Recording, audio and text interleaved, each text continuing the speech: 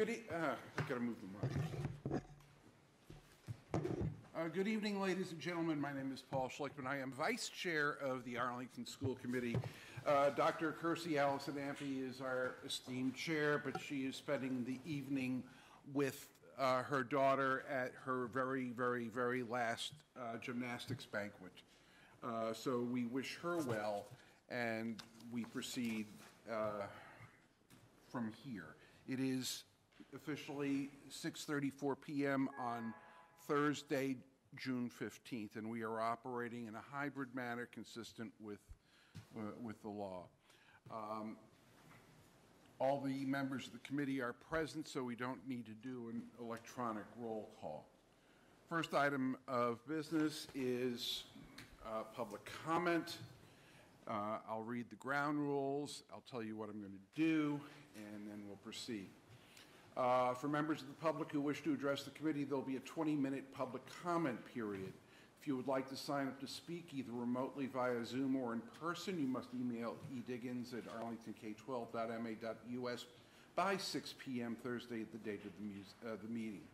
Depending on how many people sign up, time allotments may be reduced, but will not exceed the three minutes each. If the number of people who sign up exceeds what can be reasonably done in 20 minutes, and that's the case tonight, the number of speakers may be capped or speaking times may be reduced at the discretion of the chair. All requests to speak received after the date and time indicated will be invited to speak at the next school committee regular meeting. We do have 19 people signed up. We cannot do 19 people in 20 minutes, so I think the compromise will be to reduce speaking time to two minutes and extend to 30 minutes. Once we hit the 30 minute mark, which will be at 6 36 plus 30, which will be 7:06 on my clock. We will terminate uh, public comment even if we have not exhausted the speakers. So I'm going to tell people who are coming up in certain order so that the next person in line will be ready. So the first person to speak will be Sarah Lamb Barton, who will be followed by David Valdez. Sarah, Sarah Barton in the room, thank you. I better get my clock up. Yep. I have one too. All right, good evening, school committee members. I'm Sarah Barton. I live at 57 Huntington Road, and I'm also the CPAC co-chair. Uh, You may recall that at the April 27th meeting, I spoke during public comment in support of a gender-inclusive health and human development curriculum, noting the importance of accurate, inclusive sex and relationship education for disabled students. That evening, I concluded my comments by urging the school committee to explicitly reaffirm the district's commitment to gender inclusivity. At the very next school committee meeting, I sat right behind me here and listened to two of our youth provide heartrending testimony about the impact that exclusion within the APS system has had on their mental health and well being and their ability to grow and thrive in this community. I firmly believe that public support for our gender diverse students and staff from this body is required if you intend to keep your commitment to providing safe and supportive schools. Which is why I was encouraged to see a resolution affirming the LGBTQIA community on tonight's agenda. Ms. Exton and Ms. Gittleson have drafted a clear and cogent statement in support of LGBTQIA members of the APS community, and I thank them for that. You may also recall that during my April 27th comment, I expressed my dismay that the committee chose to focus on a procedural discussion of policies designed to avoid confrontation rather than a full throated defense of the district's commitment to inclusion and equity. I would urge the committee not to make the same mistake again. No one has ever felt supported, welcomed, or empowered by a subcommittee review of the policies of the Arlington School Committee. The inclusion of concrete actions in the resolution, including affirming the rights of all APS community members to be called by their requested names, to access athletic and curricular activities, as well as a commitment to professional development and the posting of these affirmations at our school buildings, will go a long way towards making our community a safer place for our gender diverse members. Thank you. Your time has expired. David Valdez, followed by Claire Johnson. My name is David Valdez. I uh, live at 6 Walnut Street here in Arlington. When I was 15 years old, I went to a school that was uh, very homophobic. I climbed a bridge in my town to jump off it. and a neighbor stopped me. Uh, in the time since then, I'm glad to be alive. I have now, as an educator, I just crossed the 4,000 student mark, and I'm glad that I could be there for them. My college roommate was a trans woman who told me the story of when she was six and discovered that at school she would have to go by her birth name and have to dress as a boy. She threw herself out of the back of her family's truck. She lived, she today is, uh, she works for the United Nations, uh, uh, policing um, human rights. I tell you these stories because it is important that a school not just passively say we're okay, but schools embrace students and support them in the ways that they can. The bill that you have before you, Exton Gittleson, is a bill that proactively does that, protects inclusion, and makes students feel welcome. The amendment to sort of soften things and to kind of look at things again will just slow the roll. I encourage you, I beg you, I plead with you to stand up for your students and to make them welcome in Arlington. Thank you. I yield my time. Thank you. Uh, Claire Johnson is next, followed by, will be followed by Hillary Clay. Hello, my name is Claire Johnson. I am a resident of Arlington at 84 Wright Street. My family is gender diverse and a part of APS. I'm here tonight to ask you to support the Pride Proclamation written by school committee members Liz Exton and Laura Gittleson. I'm asking you to reject the amendment proclamation proposed by school committee member Len Kardon. Given all that you have heard from members of the public over the past few weeks, the proposed amendment is not sufficient. It is a weak promise to take action at some undefined date in the future. I came before you weeks ago to offer public comment on these issues, and you have been hearing from other members of the community for nearly two months now. Again, I share that our family is incredibly grateful for the experiences we have had with the Arlington Public Schools. Our teachers and staff have shown they understand and recognize gender diversity. The Pride Proclamation offered by Liz Exton and Laura Gittleson is a good step in the right direction for the Arlington School Committee. The proposed amendment, after all that has happened in Arlington, is incredibly weak and honestly borders on insulting. The Arlington School Committee has a chance now to change its reputation of ignoring the experiences faced by LGBTQ students in our schools. Thank you for your time, your dedication, and your work. Thank you. Uh, Hillary Clay is next, followed by Colin Bunnell. Hello, my name is Hillary Clay. I live at 438 Appleton in Arlington, and I'm the parent of a fourth grade student at Dallin. I asked to speak tonight to address the resolutions put together by the school committee affirming the LGBTQ community, which are being talked about later this evening. I wanted to voice my support for the obvious care and thought that was put into crafting these resolutions. I feel it is the intention of the school committee to help protect this community and foster increased understanding and awareness. There are two drafts of these resolutions. They're similar in tone, but the first draft includes particular action items that I think are incredibly important, and I want to encourage the school committee to vote in favor of this first draft. It's one thing to say that we are going to support the community, but the first resolution includes distinct steps to take to make sure that support becomes a reality. One of these action items is to include the discussion of LGBTQ plus people and issues in the health and sex education, which is such an important step for inclusion. One of the action items is to support the use of preferred pronouns, which is such an important step for inclusion.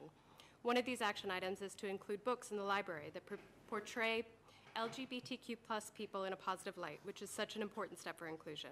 These are all concrete actions that will help support our student population, and I feel so strongly that this draft of the re resolution could make a difference in helping the very real children that are affected by these policy decisions. My fourth grader identifies as non-binary. They've spent a lot of time explaining what this means to their classmates, and it was incredibly helpful to them to have gender topics come in in the health come into the health and sex education classes that they had during the year. It's been a profoundly positive experience for my child to have their teacher embrace their pronouns and support their gender expression throughout the year. Every child deserves to have this type of support. I urge the school committee to please pass the first draft of this resolution, which will help make this affirmation and support into a reality for all of our students. Thank you very much for your time. Thank you. Uh, Colin uh, Bunnell is next, fo- will be followed by Sarah McKinnon.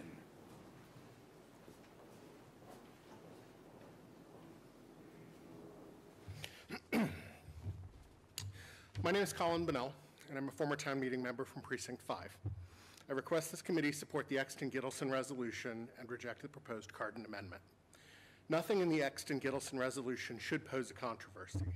There is no good faith reason not to call a person by their actual name or the correct pronouns. Equal access to services and facilities is not controversial, especially in a town as progressive as Arlington. Training and professional development to guide and support faculty and staff in treating queer and trans colleagues and students respectfully is not controversial. Widely disseminating the contents of the resolution so all understand this committee's ironclad support for the LGBTQ community is not controversial, yet all of these provisions of the resolution are stricken in the Kardon Amendment, leaving behind just a feel-good shell of a resolution without action to match. Nationwide, the rights of queer and transgender people are under assault. This is not just in states like Florida and Texas. Queer and trans communities in our state are under threat from extremist organizations like the Massachusetts Family Institute. Passage of the Kardon Amendment will be construed as this committee wavering in its support of the transgender community and will invite further attacks from those who would seek to exploit divisions in pursuit of political power. Clear, unambiguous support for queer and trans students is the best way to convey that homophobic and transphobic extremism will find no refuge in Arlington. Thank you. Thank you very much. Um, Sarah McKinnon is next, will be followed by Carolyn Vincent.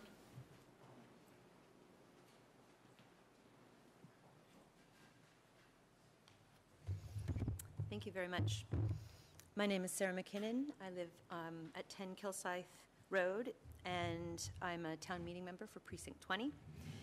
I have been so struck by what has been said already, and that I'm sure in this room you can imagine many of the things that the LGBTQIA plus community and their allies would be saying in terms of how the um, Exton and Gittleson resolution is really a call for normalization not for exceptionalism. This is for equal, equal existence within the schools. And we're writing what is off balance. I'd say that the difference that I see between the two resolutions that were um, proposed is that one is very, both are very strong in saying where we are strong already as a community. Both have sympathy and support but the latter one stops at subcommittee. The Exton Gittleson resolution is clear, concise, it gives us a plan, and if we do need a policies and procedures subcommittee to support, it can support action where we have barriers. It can support in creating, removing older or unnecessary barriers that would allow us to clearly and concisely Take these areas for improvement, say the library. Determine what is our goal, diversity of LGBTQIA plus figures portrayed in a positive light, and the action item is clear, materials. If there is anything that stops us from doing that, then the Policies and Procedures Committee can help, can support. Not support in developing, in developing action that's been done.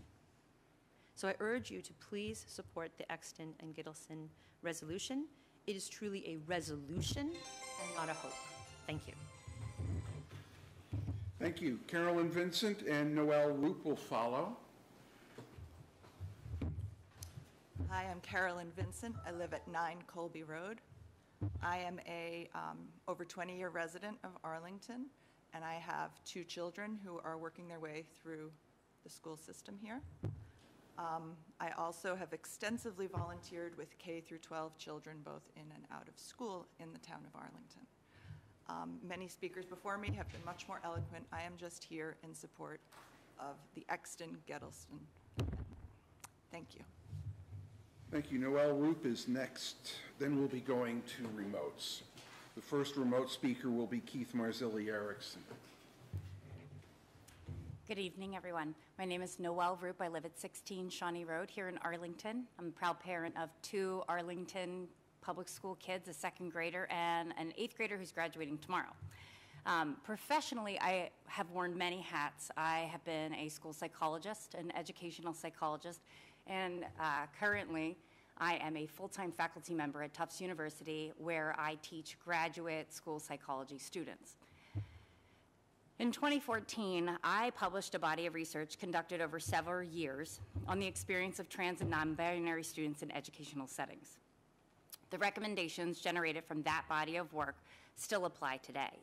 More importantly than that body of research are the recommendations from the Department of Elementary and Secondary Education here in the state of Massachusetts, which identify representation and curriculum, validation and respect, and the validation of chosen names, intrinsic gender identities, gender markers, all as key elements for supporting trans and non-binary students. In 2021, 2022, the Arlington Public Schools conducted an equity audit in which they identified LGBTQ plus students as a priority student group. The recommendations that came from that equity audit found its way into our five-year strategic plan. The resolution noticed the Pride Proclamation is most closely aligned with that five-year strategic plan, the DESE recommendations, as well as the National Association of School Psychology's Safe and Supportive Schools for LGBTQ plus Youth Position Statement. The difference between the two resolutions before us here tonight is small but critical. A goal without a plan is a wish. Tonight's amended resolution exists without clarity as to what we are proclaiming to do regarding the inclusion and representation, health and well-being of our LGBTQ plus students. The Pride Proclamation resolution identifies requested names and pronouns be respected, that equal access to programs and facilities occur, that there's privacy for students, that there's participation in all activities, that there's representation, professional development, training, and protections. Thank you. Time has expired. Great. Uh, First up on the remote is Keith Marzilli Erickson, who will be followed by Sophia Westerhoff. Uh, Keith, are you? I'm here. Can you hear me? Go go for it. Here we go. Two minutes. I'm Keith Marzilli Erickson. I'm a resident at 85 Coolidge Road. I'm a parent of two children at the Brackett School. I'm a professor of markets, public policy, and law at Boston University. And I'm here today to ask you to support the Pride Resolution written by members Exton and Gittleson and reject the amended version proposed by Lynn Kardon. It's important that action be taken to promote the well-being of Arlington's LGBTQ plus youth, to and to give Arlington's non-queer youth a well-rounded education. The amended resolution does not take concrete action, and we've already waited too long. These actions should not be controversial. We know LGBTQ youth are suffering. We have evidence they experience harassment, high rates of depression. Respecting student and staff pronoun choice is a bare minimum. The remaining recommendations, books in the library, access to bathrooms, respecting gender identity. This needs to be said and should be policy now. Parents and many teachers want LGBT history and culture to be taught in our classrooms. It's part of our American history and culture. However, teachers don't all have the tools to do so. This resolution will give them concrete training. All this is part of our strategic plan. Attacks on Arlington's LGBTQ youth keep coming. We need not just words, but actions that demonstrate to our children that they are beautiful and valued. Thank you. Sophia Westerhoff is next, will be followed by Jocelyn Friedman.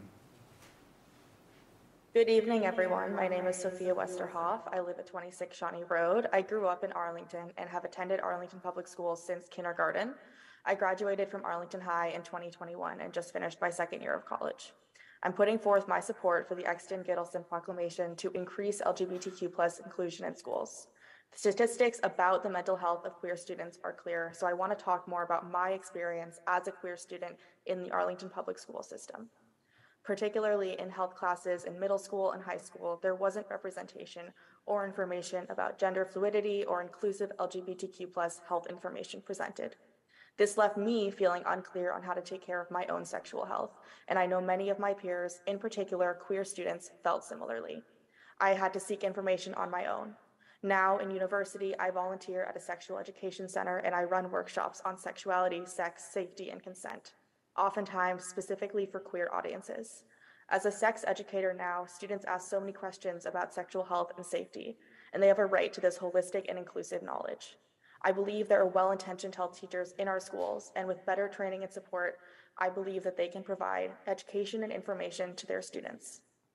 During my time at AHS, I was also deeply involved in the Gender and Sexuality Alliance, or GSA. My senior year, I was one of the co presidents. Having a community and the support of faculty and other students improved my high school experience. Um, we also collaborated with librarians and other staff, and knowing that there are people at the school who care about queer students, and knowing that the school system has your back can make a big difference to feel supported and safe.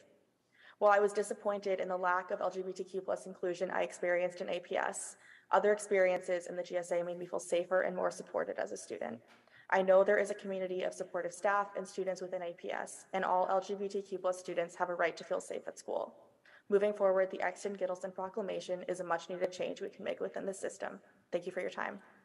Thank you. Uh, Jocelyn Friedman is next, will be followed by Elizabeth Dre. Thank you. My name is Jacqueline Friedman. I am an Arlington resident at 153 Medford. I am also the Vice President for Strategy at SIECUS, the leading national policy organization on sex education. I applaud the school committee's recent decision to come into greater compliance with the second edition of the National Sex Ed Standards. And I, am speaking today to say that the Exton Gittleson Proclamation is an urgently needed next step in this process. Arlington st students need to see themselves and the people they know represented in the curriculum that's being taught to them, and students and staff both need to feel safe at school. However well-meaning it may be, the Kardon Amendment would align us with the kinds of people who think that if they erase certain kinds of information from the curriculum, the students who need that information will stop existing in real life. At SIECUS, we have seen the data, and we know that inclusive curricula and affirming policies decrease bullying and harassment increase academic performance and make students more likely to stick up for each other if they see someone being bullied. Data aside, let me also say that as a kid who grew up queer and deeply in the closet, in a place where it was not safe to even come out to myself, it is heartbreaking to see some of the leaders in my own town once again actively deciding to leave LGBTQI young people to their own devices. We have already let the trans and non-conforming, gender non-conforming students in our schools wait too long while under increasing attack for the kind of actions provided for in the Exton Gittleson Proclamation. They cannot afford to wait yet again. As you've already heard, the policies in the Exton Gittleson Proclamation are all based on the recommendations of leading organizations with expertise in creating environments that keep LGBTQ students safe and help them thrive, including, of course, SIECUS. We cannot just say it gets better we have to take action. By passing the Exton Gittleson Proclamation and voting no on the Kardon Amendment, you have a chance to take a huge step tonight toward ensuring the students of Arlington have the freedom to be themselves, pursue their dreams, and get the quality education we have promised them and that they deserve. Thank no. You. Your time has expired. Thank you. Thank you. Elizabeth, Elizabeth Dre is next, followed by Jordan Weinstein. Good evening. My name is Elizabeth Dre. I'm on Jason Street and I'm a town meeting member in precinct 10. I urge the school committee to vote to support either the original or, or the revised Gittleson Exton Pride resolution. As we all know, our LGBTQIA plus youth are being attacked both nationwide and right here in Massachusetts, and failure to vote in favor of this resolution puts Arlington in bad company. As the parent of a trans child who graduated from APS, I am grateful to Ms. Exton and Ms. Gittleson for proposing common sense policies that may have helped my child and will definitely help current students and future students. And frankly, I am shocked that we are even having this discussion. Uh, and that school committee member, Mr. Kardon, would ask our children and the APS staff to wait when they have clearly asked for help. Wait for what? Our children cannot sit by and wait while the Policies and Procedures Subcommittee undertakes a lengthy review of the school committee's policies to de determine changes that may be ne needed, as Mr. Kardon would like. Every day that the policy review takes is one more day where students don't feel valued, seen, accepted, safe. Every day they wait is will risk further damage to both APS from APS staff and students. And every day they wait could put them at risk for further depression, anxiety, and maybe one day closer to possibly attempting suicide. The original and revised Exton Gittleson resolution clearly lays out the absolute minimal that we need to do, and we need to do it now. And let's be honest, this is not earth-shattering policy changes that they're suggesting. Correct pronoun use, bathroom and locker use, staff education is the minimum that we should be doing. This is not a time for inaction or for kicking the can down the road. How many more youth will suffer if you support the Kardon resolution? How many more will drop out of school? And how would you vote if it was your child experiencing discrimination by their teachers? Your child who didn't want to go to school anymore because they didn't feel safe, or your child who is currently hospitalized due to suicidal ideation? Thank you. Thank you. Uh, Jordan Weinstein is next, will be followed by Mustafa Varoglu.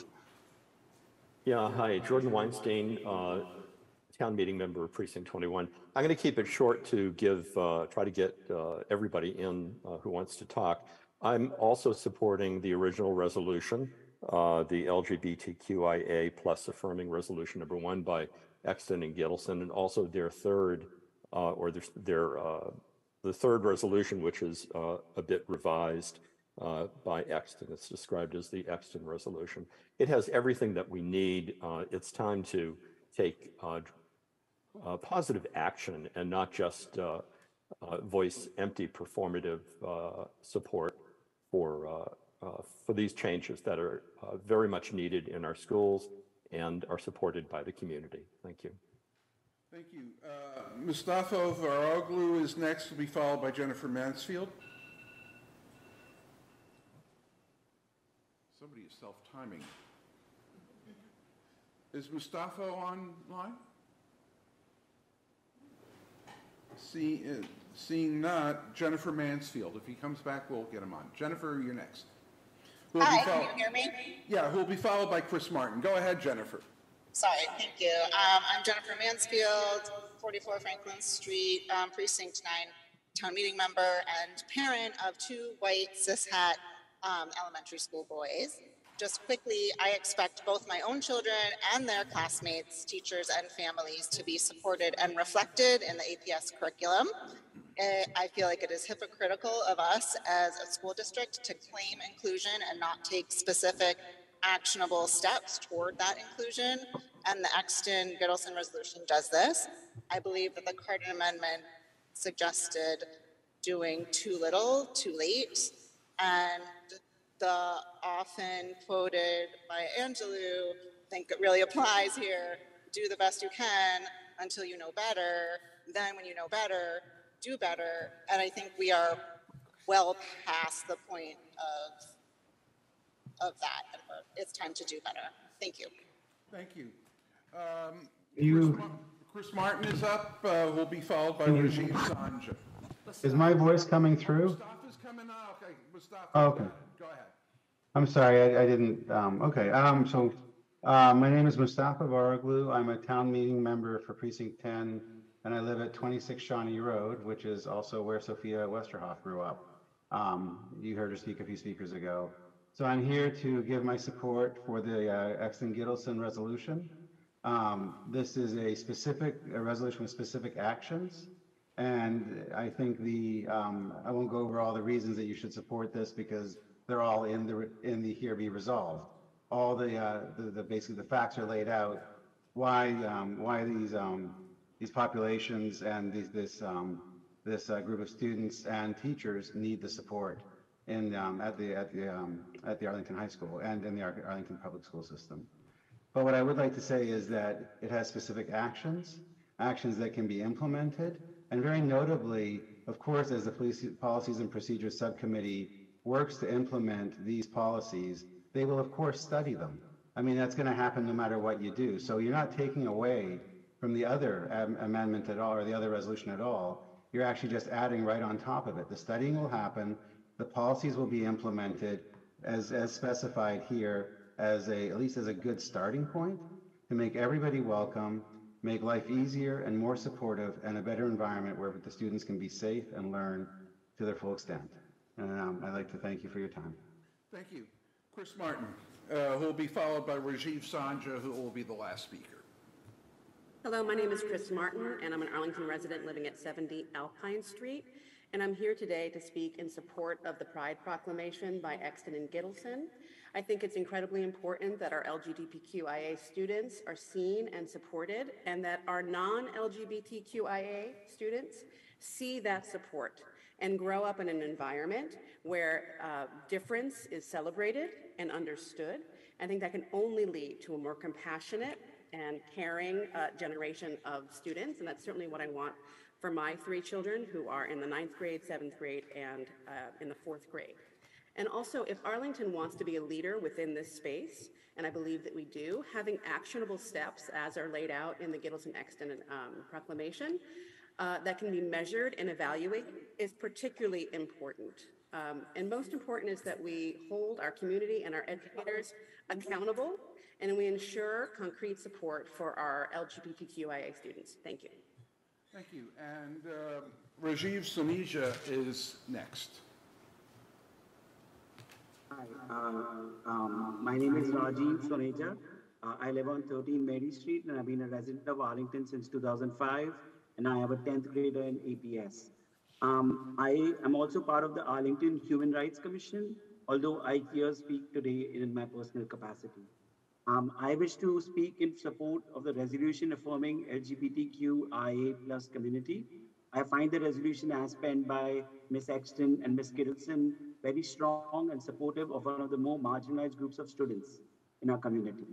As others have mentioned, a survey conducted by the school administration found this community of students suffering most from anxiety, stress, and mental health issues at levels far higher in proportion than other groups. At the same time, I also caution the school committee against adopting the amendment as put forth by Mr. Blaine Kardon, since it does not fully proclaim the help and support that this group of students require from the administration. Over the past few years, we have seen an increasing number of attacks on inclusion, against inclusion for mar marginalized groups across the country. At the same time, I've also heard conversations amongst people that in a self-congratulatory manner, indicating that this will not happen in New England. Well, here we are. Every day we see reports of school district meetings being disrupted, misgendering, homophobic language being reported at constant basis. Right here in our town, we have a proposal to review the health and wellness curriculum that was so urgently required in support of the LGBTQIA plus community. Anything short of a full-throated affirmation of LGBTQIA plus students makes students feel unsafe and unsupported. With this in mind, this is the time to put together our progressive reputation on the line and adopt the original resolution as written by SC members Ms. Gittleson and Ms. Exton. Thank you. Thank you. And it is now 7:06, so we got everybody in. Thank you very much for your cooperation and patience as we work through the list. Um, So we're now opening the meeting. First of all, um, our student rep unfortunately can't be with us tonight, but our AEA rep is remote tonight. That's Sif Ferranti. And also, I want to recognize Allison Elmer, who is our Assistant Superintendent uh, for Student Support Services, who is also online tonight. I think that takes care of everybody who is online. Next item of, on the agenda will be an appointment to the Arlington Human Rights Commission. Is Griffin Jones with us either in, Griffin, come on up. Griffin, you're seeking our appointment to the Human Rights Commission. Uh, Can you tell us a little about yourself and why you want to do this? Sure. I am uh, a resident of 24 Mott Street. I use he, him pronouns, and uh, I have a doctorate in, um, in social epidemiology, uh, which has me uh, spending a lot of my time looking at civil justice and its impact on health. That goes anywhere from uh, substance use disorder um, to education to our approach to policing and emergency management. Um, I own my own uh, health justice consulting practice, and I currently work half-time um, at Harvard, building an equity uh, hub uh, there, and then half-time at Yale Law School, um, working on medical legal partnerships um, there. And so I'm keen on uh, uh, contributing to um, uh, the pursuit of justice here through the Health, uh, the Human Rights Commission. Thank you. Um, So I guess at this point, we'll need a motion to uh, appoint Mr. Jones. Uh, Motion by Mr. Thielman, second by uh, Ms. Gittleson. Um, Any further discussion from the committee? Questions, discussion? Hearing none, we'll go for a vote. All in favor? Yes. Aye. Uh, Opposed? Abstentions? It is a unanimous vote. Congratulations, and uh, we wish you well. Uh, Okay, 6:45 PM. We now come to the point where we say, hopefully at our last meeting, uh, a fond farewell to Dr. MacNeal, who is leaving us on the 30th um, for private pastures. I'll, I'll start with the superintendent. All right. Rod, I came in today and I said, "Are you ready to be embarrassed?" And he said, uh, he said "Oh no, what's about to happen?" Um, so, Rod, I just have a few words I want to share with you, and then I'll turn it to the rest of the committee. You've been my partner in leading the district for the two years I've served as superintendent, and you've proven an excellent, reliable, and trustworthy partner for those two years, and you're someone I will very much miss. You are leaving a legacy in this district of walking the walk when it comes to making our schools a more equitable place for all of our students to learn. You are a fearless advocate for kids, and I'm so happy that you'll find yourself in a place where you can spend every day interacting with more young people because this is where you shine and thrive. You've developed our leaders to be compassionate while maintaining high standards for themselves and those they supervise, and you have eliminated multiple systemic and programmatic barriers despite opposition and done so with grace and humility. Rod, we have not always agreed. And as far as I'm concerned, that's what makes our partnership so rewarding. While I haven't, while we haven't always agreed, we've always supported one another, and your support of our shared work is something I will always remember and cherish. One of the things I've appreciated most about you is your ability to be candid, to disagree respectfully, and to have the hard conversation until such time as we're able to establish a shared course of action that we can support together. You are a committed, capable, and caring leader, and someone I am proud to have led alongside. I wish you the best in your next very well deserved adventure, and I will leave you with one more piece of unsolicited advice. Follow your instincts because, my friend, your compass is always pointed in the right direction. I'm going to miss you. And I will go around the table for an- anyone who would like to be recognized to make a comment at this point. Ms. Gittleson? Um, Rod, I have only been on the school committee a couple months, so we have not actually worked, excuse me, worked together in that capacity very long. But I was a parent watching Zoom school committee meetings during the summer of 2020, wondering what my entering kindergartner was going to experience in pandemic school. And I really always appreciated your calm and um, reassuring manner. It was it, was always a presence that I felt really good about having, as I had no idea what decisions everyone should make, and I was grateful for the people who were making good decisions. I also was watching the meeting when you volunteered to be the uh, APS liaison to a Rainbow Task Force, and truly appreciated that and the small amount of time I have worked with you on uh, the most recent APS Pride. So I wish you all the best. Okay. Mr. Kardon? Thank you. Dr. MacNeal, we've been so fortunate to have you here as our Assistant Superintendent. This was your first central office role, and we've seen so much growth and development in your time here. You helped steer Arlington through the pandemic, totally reinvented professional development, and brought an equity focus to everything we do. Your tireless efforts have greatly contributed to success and advancement of the Arlington Public Schools. I wish you much success in your new role. Thank you. Thank you. Ms. Morgan? Um, I, I also come from independent schools, so I have a sense of where you're going. Um, I counted, um, there, there are 19 members of the Board of Trustees of the uh, Chestnut Hill School, and, and I, I, I, yeah.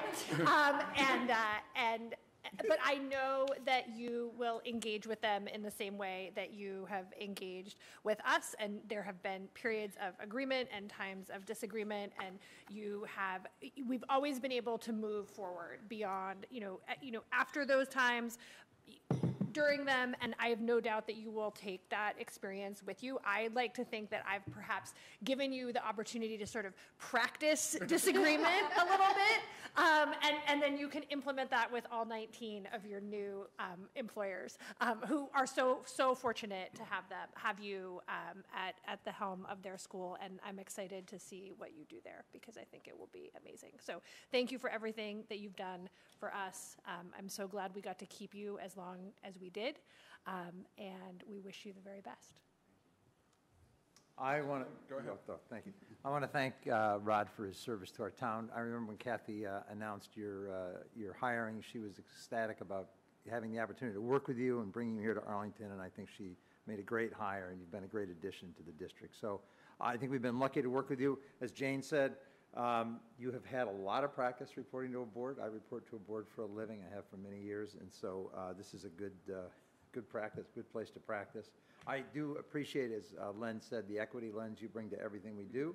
I appreciate the dialogues you've been willing to have with many folks, many parents on many issues, um, and I think that's an important part of our work. My time is up. Um, I, uh, uh, but your time continues until June 30th. So I, I, uh, I just want to say it's been a great pleasure working with you. We had many conversations during uh, the intense times of COVID, and uh, I think we, we, we all worked our way through that, and it was, uh, and you were always a gentleman. So thank you so much. Ms. Exton? Dr. MacNeal, I also want to thank you for your years of service here in Arlington. Um, the curriculum leaders and the principals in the schools have really benefited from your passion and commitment for curriculum, for equity in curriculum, for believing in what you, um, being committed to what you felt was important and right, and leading um, conversations in a direction that that brought others on board. Um, I also want to comment on the professional development programming that you designed, um, particularly this year, and I hope that it can continue. Um, in your absence, I think the opportunity for teacher choice and the opportunity for teachers uh, to be leaders and support their colleagues in their professional development is, is really commendable, and I appreciate all of the work that, that, that you put into that. Um, so best of luck uh, in your next endeavor. Thank you. Thank you. Dr. MacNeal, when we first hired you, uh, I did what everybody does on a new hire, is I hit Google. and I found this wonderful picture uh, of uh, Rod MacNeal, principal in Needham. And this, I, I saw that and I said, okay, this guy we got to hire. And he is absolutely a kid-centered ally of great teaching who understands schools. And from everything that I can see from the chair here at the school committee, I've known that the principals and the education leaders in the district appreciate you by their side. The teachers in this district appreciate how you value their work and support them and the children in this district have benefited greatly from your service. So thank you for being with us, and I know you're going to take a whole bunch of Arlington with you to Chestnut Hill. Thank you very much.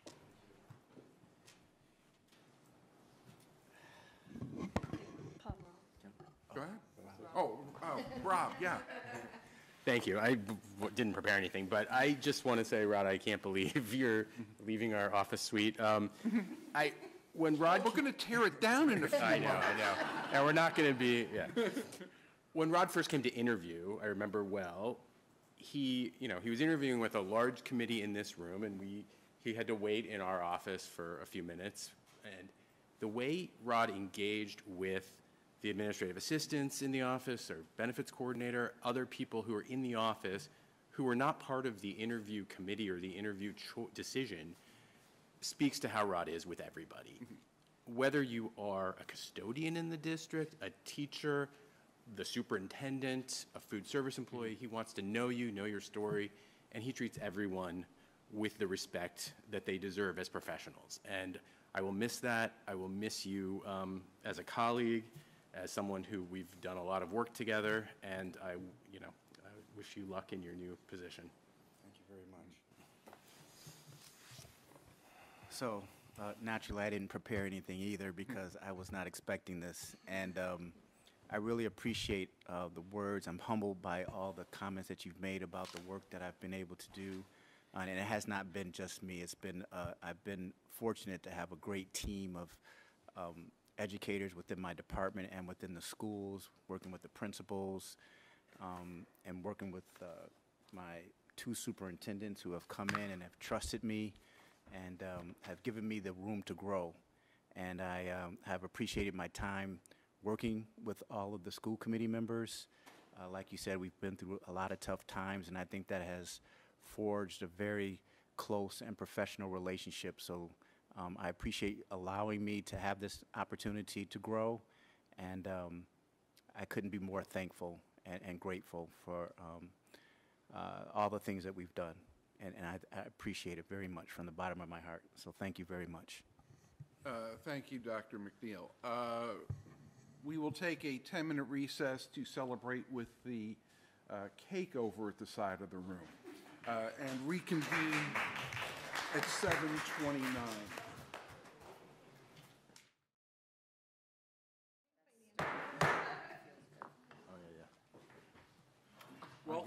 Welcome to Amtrak. We're 29 minutes behind schedule. Um, We're going to try to keep moving uh, because the reward for moving quickly this meeting is exhausting a long agenda and not having to come back next week. Um, So we're now up to the AEF presentation to the school committee. Um, Dr. Homan? I'm going to pull up and drive your slides Thank for you. you. Mhm. Um, I'll go ahead and get started. And you can tell me when to move on to the next one. Hello, I'm Judy Geyer. I am the outgoing president of the Arlington Education Foundation.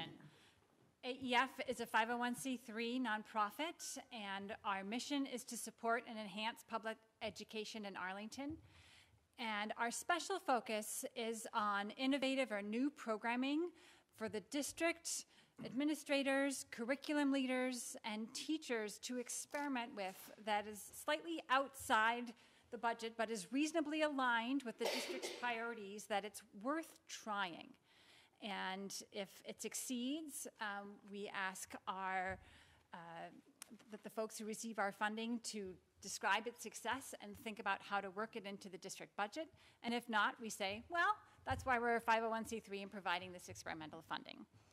I'm here to present a summary of what we did this year. Uh, Next slide, please. I want to first start by thanking this body. Um, Our donors and event participants really enjoy seeing you at our, at our events, so thank you, school committee members, for attending. Um, I really want to appreciate um, working with Dr. Homan and also uh, Miss Julie Dunn, who's, who's not here tonight. Uh, We work in really close coordination to make sure that our funding is getting to the schools. um, and we also benefit from the participation and insight of uh, school committee liaison, currently Ms. Exton, uh, previously uh, uh, Mr. Kardon. Um, Ms. Exton has attended our monthly meetings every Sunday, and we really appreciate her insights, so thank you. Uh, Next slide, please. Who are we? We are 14 community members. We meet monthly um, and sometimes in smaller groups more frequently. We have a teacher representative, a METCO parent representative, the district liaison, currently Ms. Dunn, and the school committee liaison. And our funding priorities span grants uh, to the district administration, grants to curriculum leaders to expand curricula across the schools in Arlington, some grants that are directed uh, to teachers to try new things in their classroom, and then about 15% of our funds go to enrichment scholarships for teachers. Uh, Thank you. I want to announce a new, a new grant um, that the board approved two weeks ago, and this will go into effect for the 2023-24 school year. And this is a $42,000 grant uh, to support strategic initiative working groups.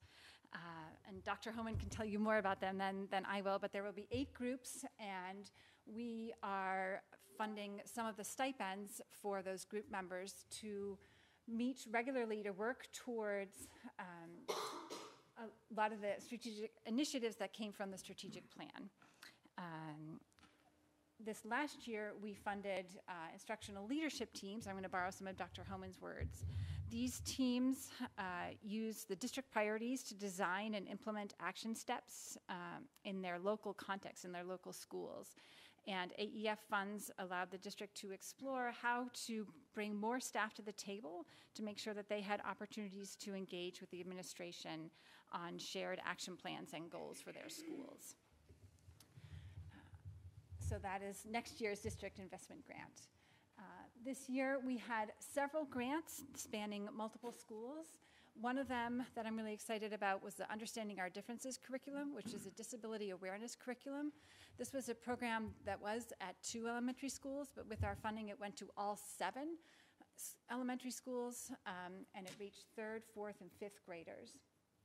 Uh, We also worked with the digital learning uh, lead, uh, Ms. Pimparkar, Dr. Pimparkar, on expanding the last year's um, new to the district digital learning curriculum for K to 2 to grades 3 to 5. So um, with our support on the order of $20,000, the district now has uh, Finch robots and microbits that third through fifth graders are working with.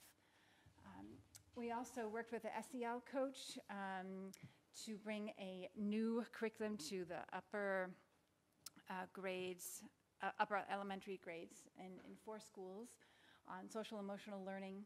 Um, we worked with the new visual arts director on integrating screen printing into the visual arts curriculum for K through 12.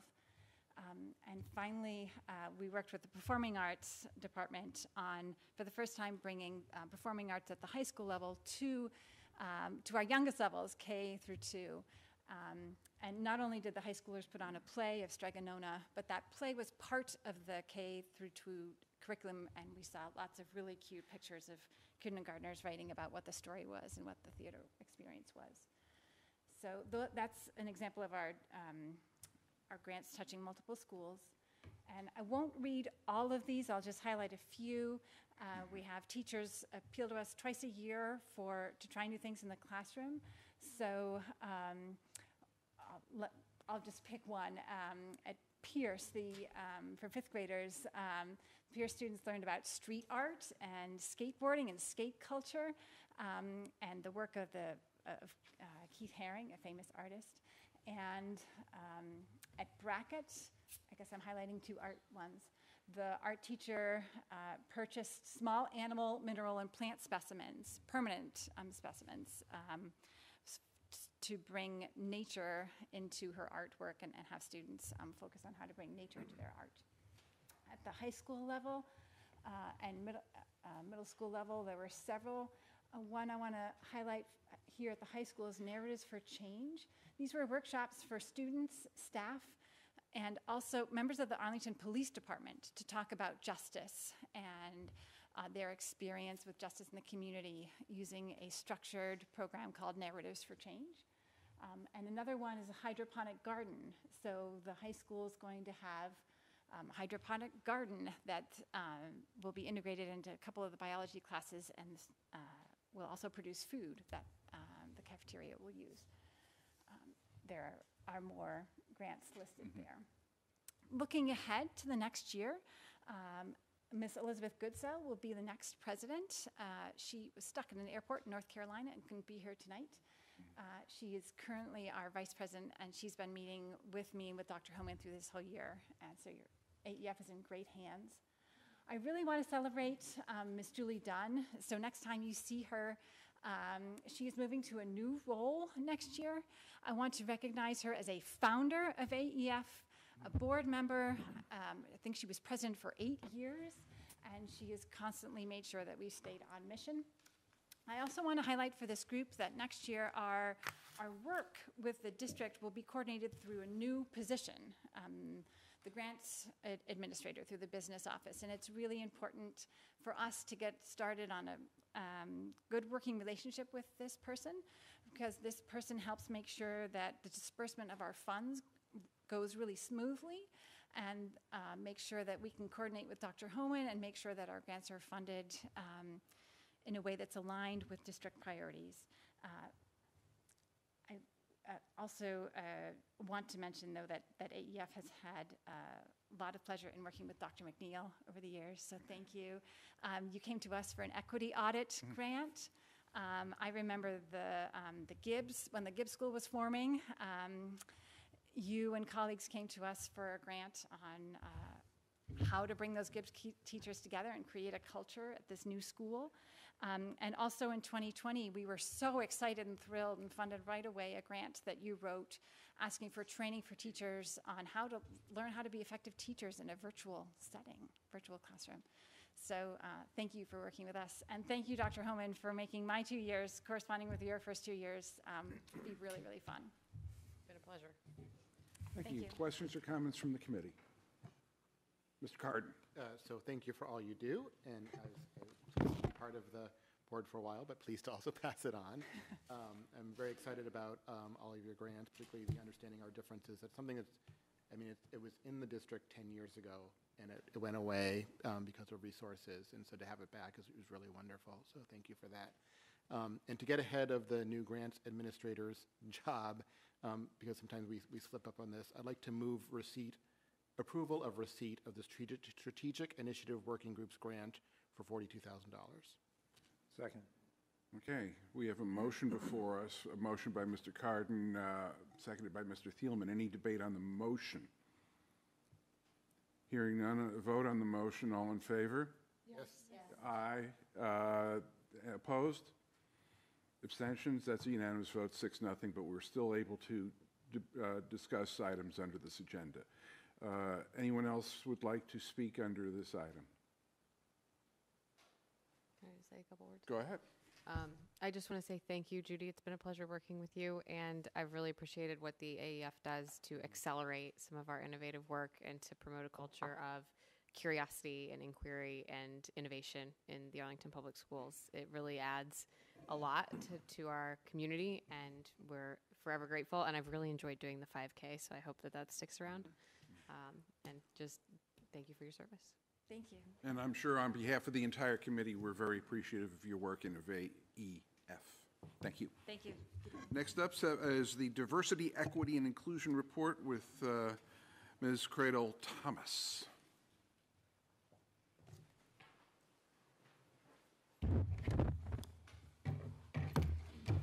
pull up my slides too on my, Hmm? I'm gonna pull mine up on my, um, computer too. Okay, I have them here though, so Yeah, tell I me know, when to go. yeah. Good evening. Thank you for having me this evening. Um, and this is a report for the Diversity, Equity, Inclusion, and Justice Belonging Department. First, I would like to say and thank um, the school committee for having this department. I also would like to say that I couldn't do this work without the leadership of Dr. Homan, Dr. MacNeal, and all the other cabinet members and leadership in Arlington Public Schools. I don't do this alone. We do this as a team, and we're building this department. So I wanted to start there. So as everybody knows, we do have, um, we've had this vision since um, last spring. And the vision of Arlington Public Schools is to be an equitable educational community where all learners feel a sense of belonging, experience growth and joy, and are empowered to shape their own futures and contribute to a better world. Um, and the reason why I, I wanted to start there is because one of the things that the department has done is has um, added onto it where we believe in this department that we are designing a multicolored tapestry that will weave together courage, determination, authenticity, and belonging in order to actualize the vision that I just read. So I wanted to just take you a little bit on a timeline of where we've been with uh, this department. Um, in July of 2021, you all voted to have a director of DEI, so thank you for that. Um, in the fall of 2021, um, the district conducted uh, listening sessions. That's the first thing that we did in this department, just to get an idea of what was going on in the community. There seemed to be a lot of themes going on, um, and um, we decided as a district that we um, also we needed to do an equity audit, as you all know. We got the official report from that equity audit.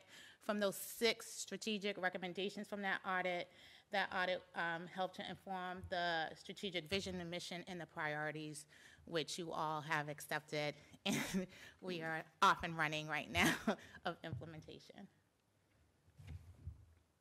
So I just wanted to name a couple of things that the department has done this year.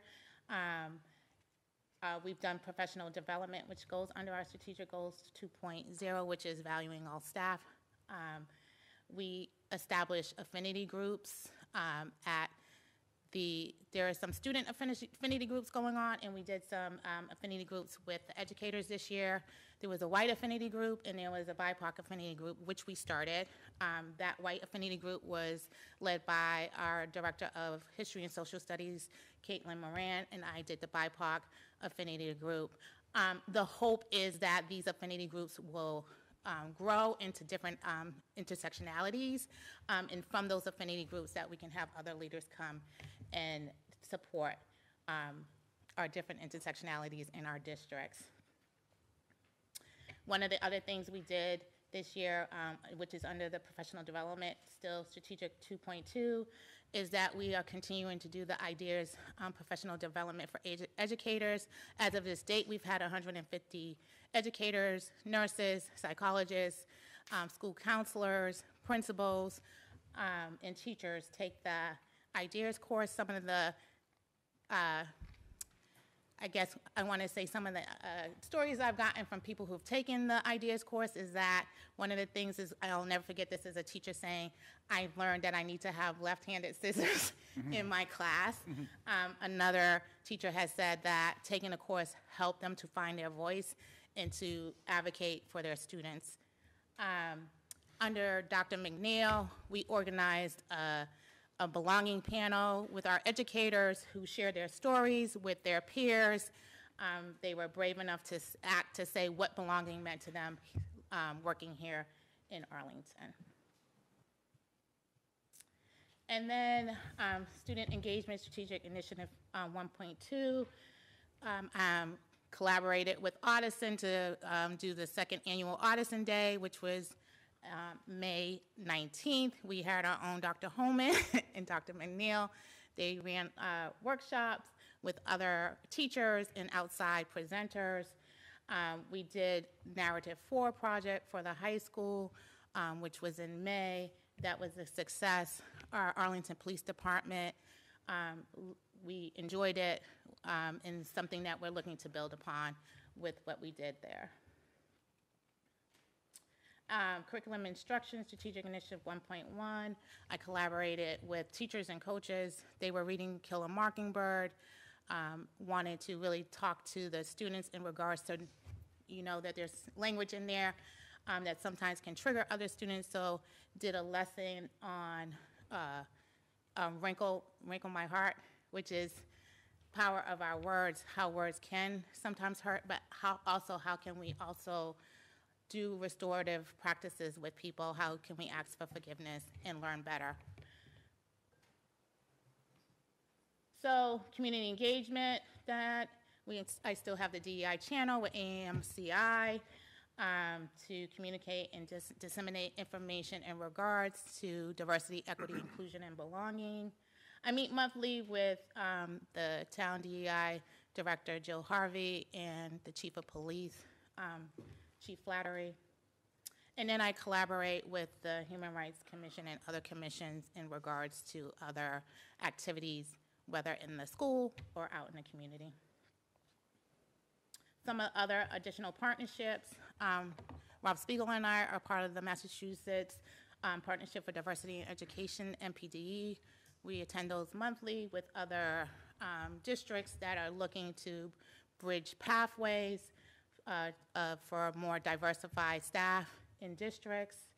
I am um, part of a new association of Massachusetts School Equity Leaders, which are um, DEI directors, um, which is going to be official in one week um, at the State House. Um, and then my other affiliation is that I am starting my third year at Boston College. I passed my comprehensive exam, and I will be um, doing my uh, proposal defense in two weeks. So uh, some of the other things that we've done in the Human Resource Department, um, Mr. Spiegel and I participated in the Teacher Diversification, um, PLC through DESE this year. Uh, we're developing a partnership with Cambridge College to create uh, teacher pathways for Arlington Public Schools. Um, and then um, one of the other things that we did as we had changed our hiring practices this year, we also design uh, process monitoring for hiring. Um, we do anti-bias training.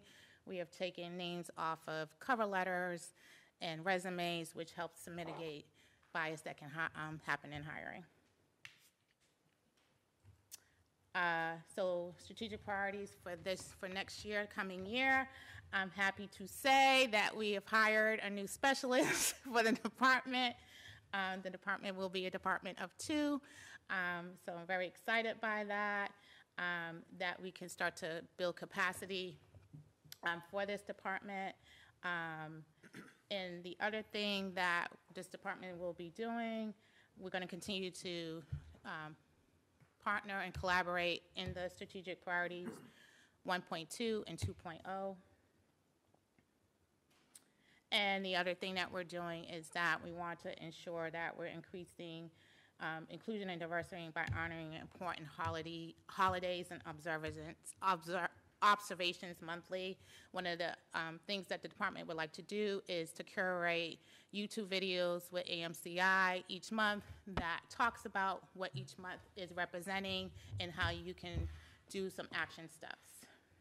Um, again, partnering with the curriculum leaders, principals, um, to continue to uh, design and develop uh, a curriculum for the um, diversity, equity, inclusion, and belonging.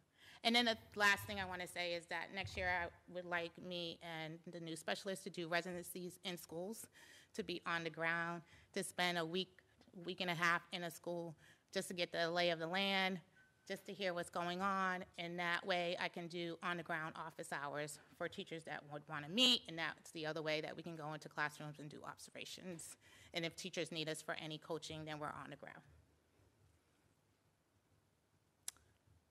That's it. Okay. Any questions or comments from the committee? Mr. Thielman? Thank you, Mr. Schlichtman. Um, Thanks very much for this presentation. I'm really pleased to see how this department has grown, because I think it was just, as you said, it's only two years old, so this is great growth. My question, the, um, the affinity groups, what's the participation like in the two groups? Um, actually, we had, I've, we- in both groups, we had over 20 educators in each group. That's good. Yeah.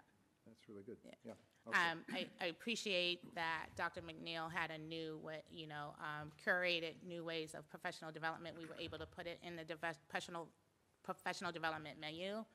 Um, I think that was really important so that um, people didn't have to think about, could I meet after school? That we can do it during the Or school was day. it, it was during the day? Yeah. Oh, okay. And it was really helpful because we, we did a lot of, um, you know, one of the things that we talked about in the BIPOC group is, um, we talked about the book, um, My Grandmother's Hands. Um, and talked about really a lot of how you can support yourself, how we can support each other. Um, talked about white supremacy culture, what does that mean? Sometimes we, we talk about microaggressions, what, you know, sometimes we say these, uh, words and people don't understand what they mean, so we did a lot of like understanding of things. So there were books, there were, there were topics to discuss and readings in each, okay, great. All right, thanks. I just wanted to get more. Very good. Questions or comments? Hearing none, thank you for the excellent presentation. Um, Yeah.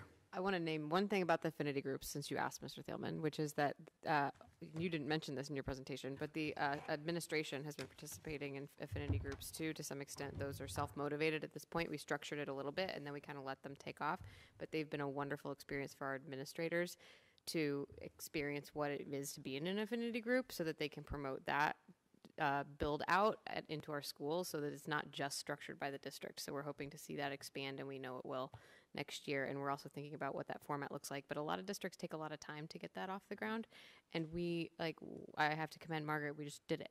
Um, and we knew it would, would really help people feel a sense of belonging and connection to one another, and it has definitely accomplished that for our administrators, which we know will lead to them facilitating that opportunity for students and for other leaders.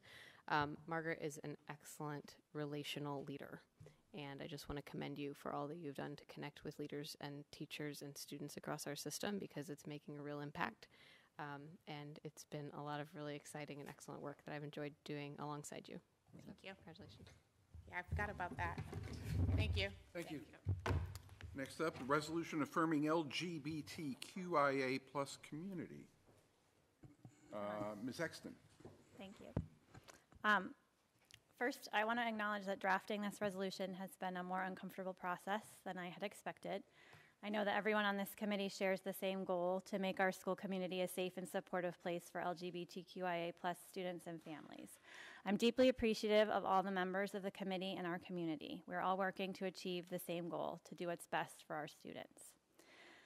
I believe that we need to resolve our commitment to the LGBTQIA community. We need to do so in words and actions, and we need to do so urgently.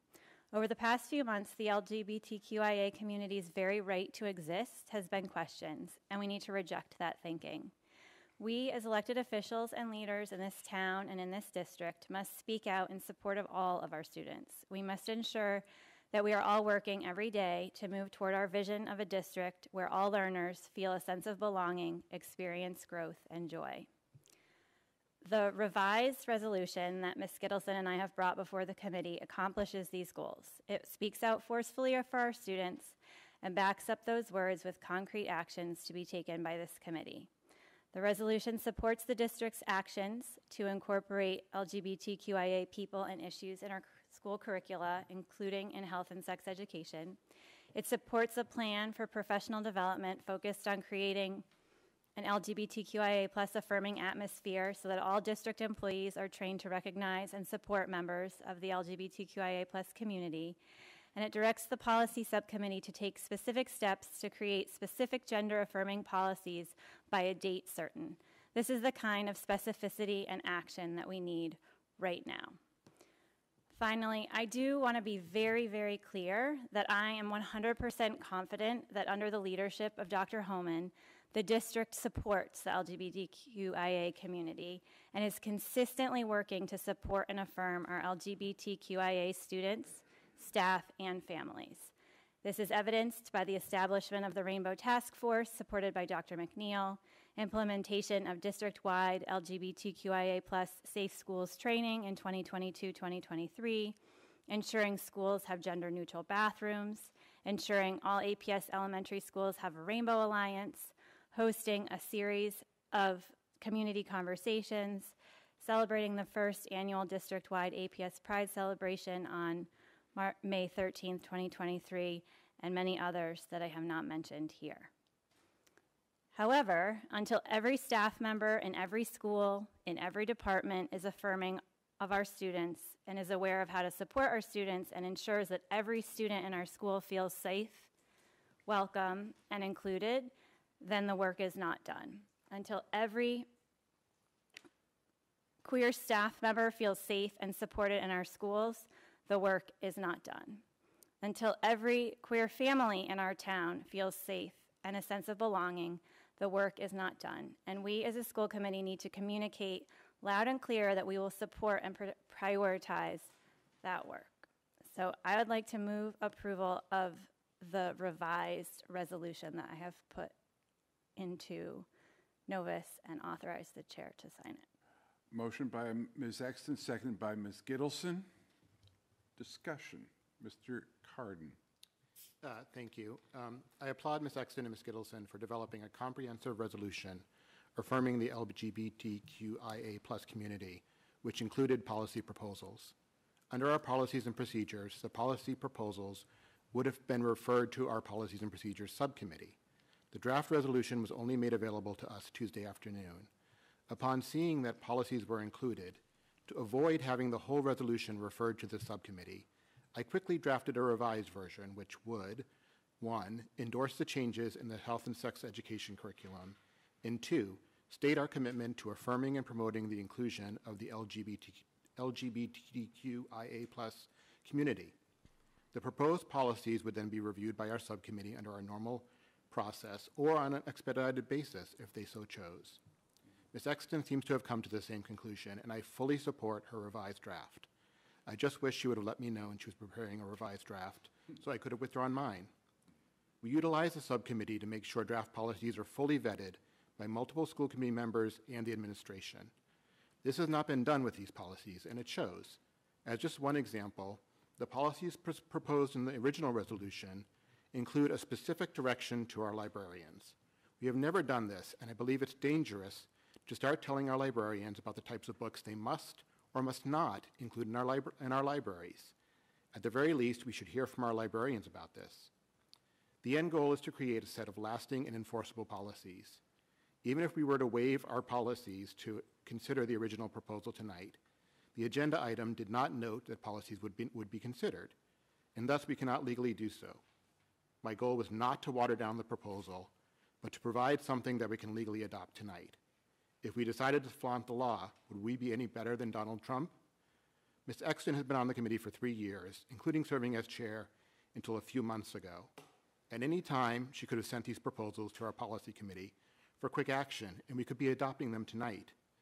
So I would respectfully suggest that some of your ire at tonight's proceedings be directed at her instead of me. I appreciate the revised proposal, and I'm happy to support it. Thank you.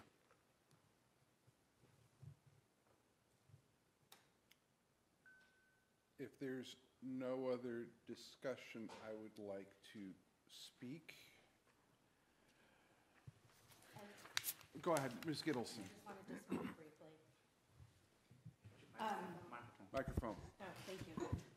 Uh, Thank you, Mr. Kardon, for supporting the revised motion.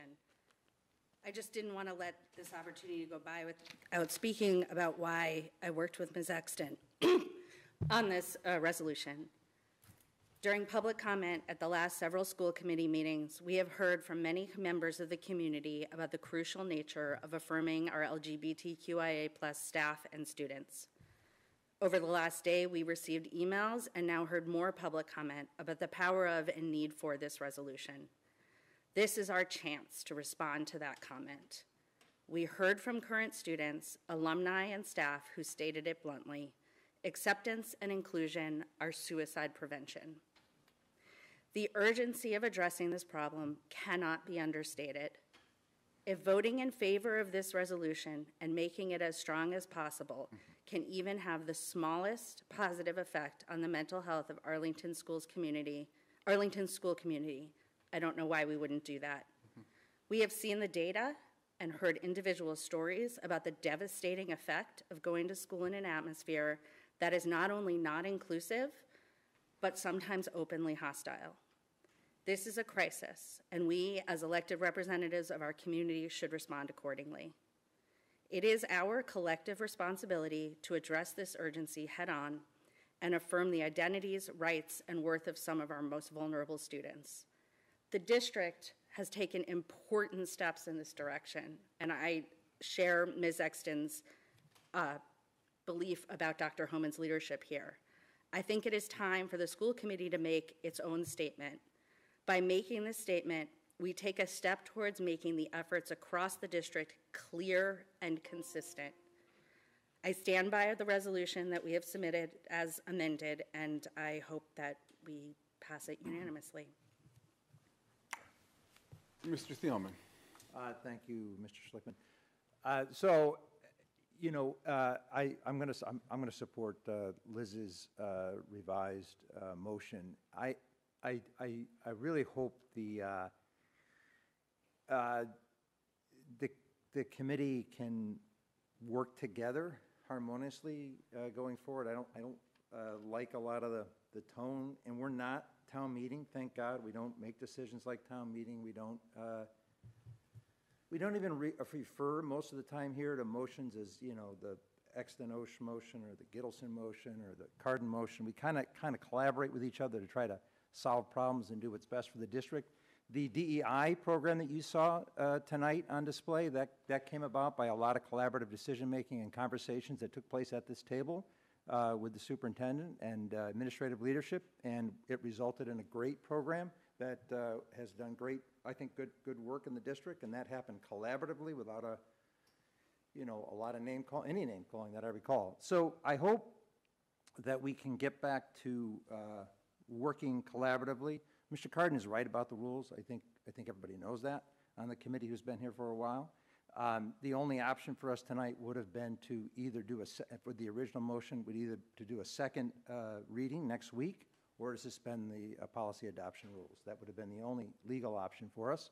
Both of them were available to us if we wanted to go down that route. So I am supporting Liz Exton's motion. I hope we can put this behind us quickly. We have a lot of work to do. We have uh, buildings to build, overrides to pass, kids to educate. So, uh, and, and when we work together, we do great things that help the town, and we, uh, and when we work as a collaborative school committee, rather than uh, like other bodies in town, we get a lot done. So that's my only comment. Thank you. Thank you. I want to note that under Massachusetts law, the Arlington School Committee is governed by the open meeting law, which means that we cannot deliberate outside of this room. Now, I can talk to any one of you about any issue. The only people I cannot talk to or communicate with are sitting at the table ahead of us, which is why we structure our organization the way we do. When we get a topic, what we usually do is refer it to subcommittee so we can sit and have an informal conversation and get to a point where we have something that is ready for prime time at a school committee meeting.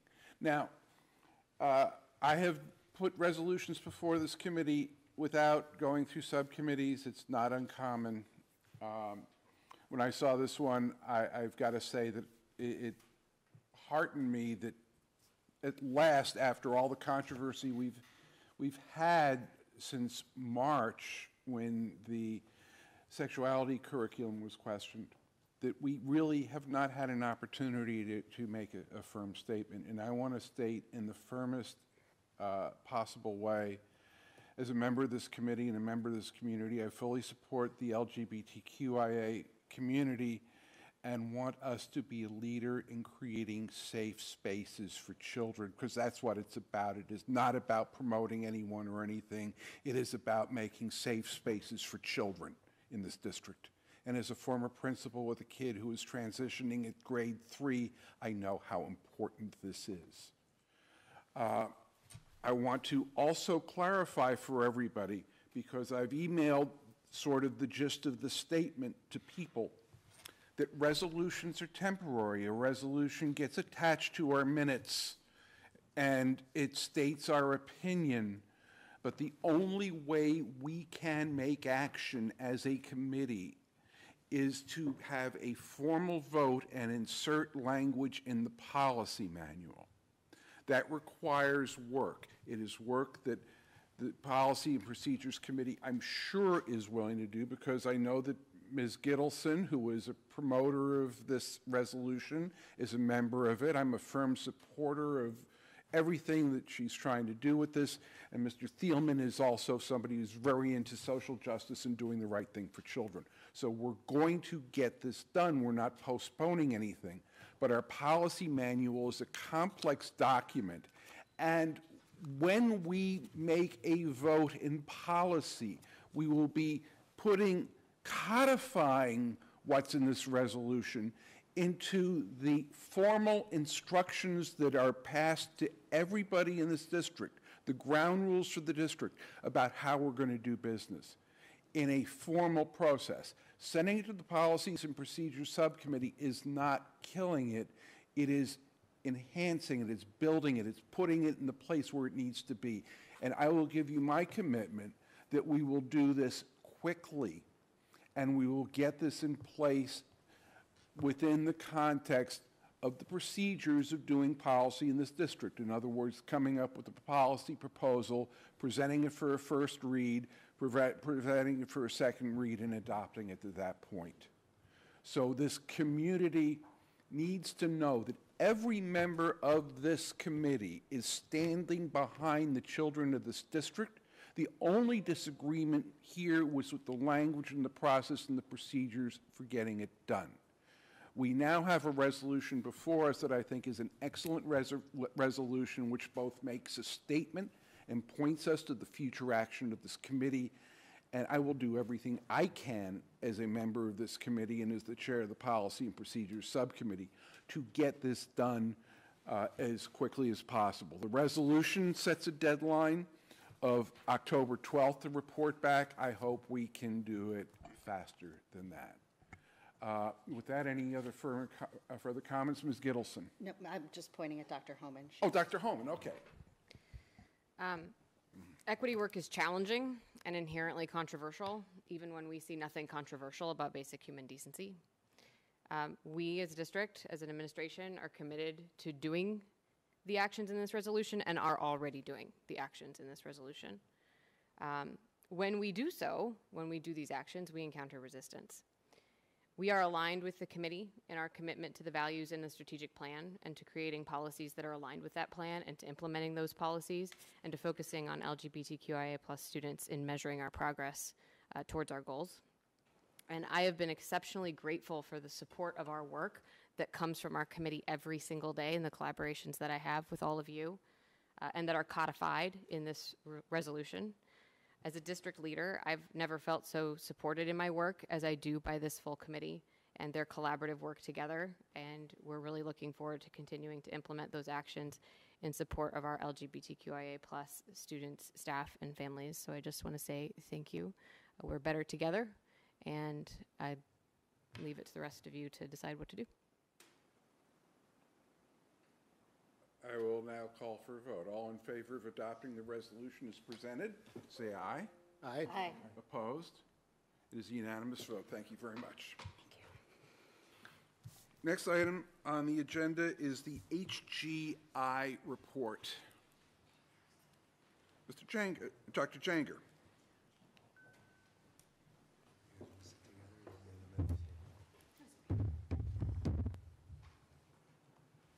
So thank you very much for having us. I'm here with uh, Nicole Edson, who is one of the English 9 teachers, as well as Liza Basso, who is also another one of the English 9 teachers. I'm going to take a little bit of the presentation out of order because um, they want to go first. So I'm going to tee them up, um, and then we're going to let them talk, which is honestly always my favorite way to go. Start with the strong folks. Although it's sort of like going on after Hendrix, it's not a great plan. Um, So just to sort of contextualize this presentation, this is one in a series of presentations we've been making about the heterogeneous English pilot. Um, This is the last one for this school year, although not the final one for this school year's data. Um, This one is going to focus primarily on the um, climate and culture survey. We've already looked at the participation and grade um, information throughout the year, and we don't have the final grade, so that will be something we will do in the, uh, the following, so we'll do in, in the fall. So, yep, if you look at, um, wait a second. So if you look at the presentation overview, we're going to start with the teacher feedback and their comments on the students, and then we will loop back up. No, no, don't go anywhere. Oh, sorry. Hold on.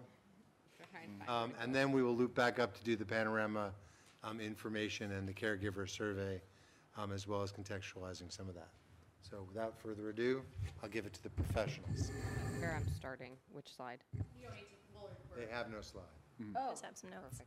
Hi, everybody. Thanks for having me here. I'm Liza Basso, one of the ninth grade ELA teachers.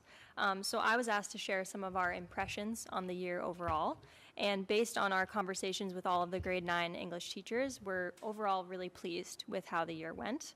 Um, prioritizing UDL in our classes, we were able to dive deeper into specific skills and content and maintain um, high levels of rigor across levels consistently.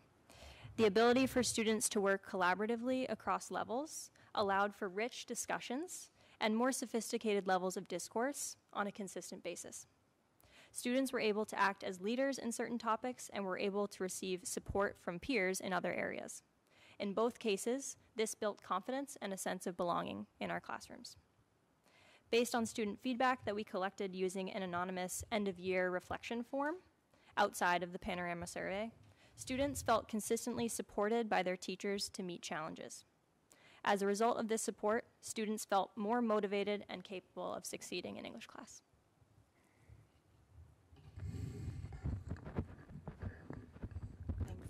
So um, I just wanted to talk a little bit about what our teacher next steps were, kind of what we were planning for the summer. In the curriculum work days ov- over the summer, we plan to review the Panorama survey results and discuss some actionable steps, specifically lessons and tools for developing skills around academic conversations.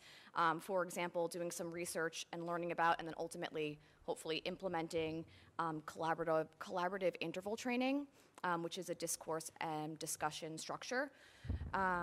We were hoping to also share ways we differentiated our instruction and assessments, assessments on a smaller scale, so a daily and weekly um, scale, not just formative assessments, which we have already discussed and aligned.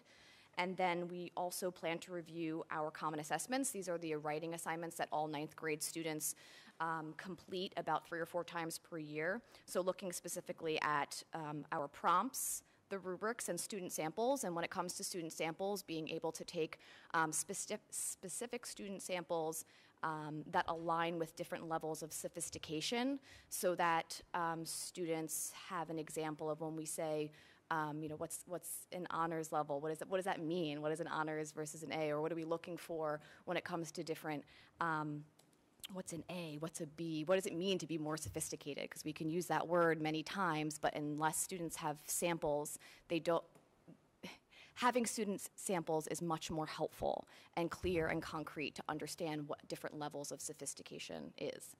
Um, and then, you know, our weekly common planning is split, meaning um, four teachers, there are eight English teachers, ninth grade English teachers overall. So four teachers meet during one period and four teachers meet during another period weekly. And we found that the most helpful common planning this year happened when all ninth grade English teachers had a full day to collaborate during the curriculum retreat. Um, so we're next year we're hoping for more opportunities to meet as a full team, sp- specifically to grade norm, as that process always leads to rich discussion, not only about assessments but also about instruction.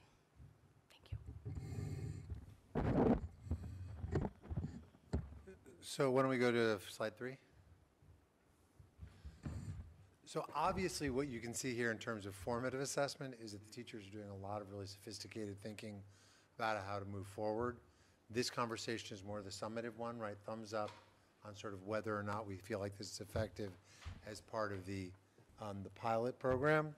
So um, I'm going to be talking about these outcomes. So these were the outcomes that we said we were going to focus on for the summative question, right? Honors level participation, student grades, rigorous expectations, equitable access to rigorous expectations, which we defined and we're going to look at through the panorama survey around these areas. Teacher-student relationships, um, classroom belonging, expectations. Um, we will be looking going forward at future enrollment in honors. We, we see it sustaining right now with requests, but we don't really have the numbers on where the students end up when they arrive in the class. So we will have that in the fall. And then sometime by the end of next year, we will have these students as sophomores um, in terms of their outcome. No, actually, we won't have it for a while. We won't have that till the year after next in terms of this group of students as sophomores taking the MCAS. But it is something we hope, again, we would see positive results in. So what we've seen so far um, is that honors level participation has gone up substantially. Um, and we've seen that student grades have stayed even, which is an improvement since 19% more of the class is participating in honors level curriculum. So now moving to the panorama survey. So that link there, I believe you guys have the summary of results.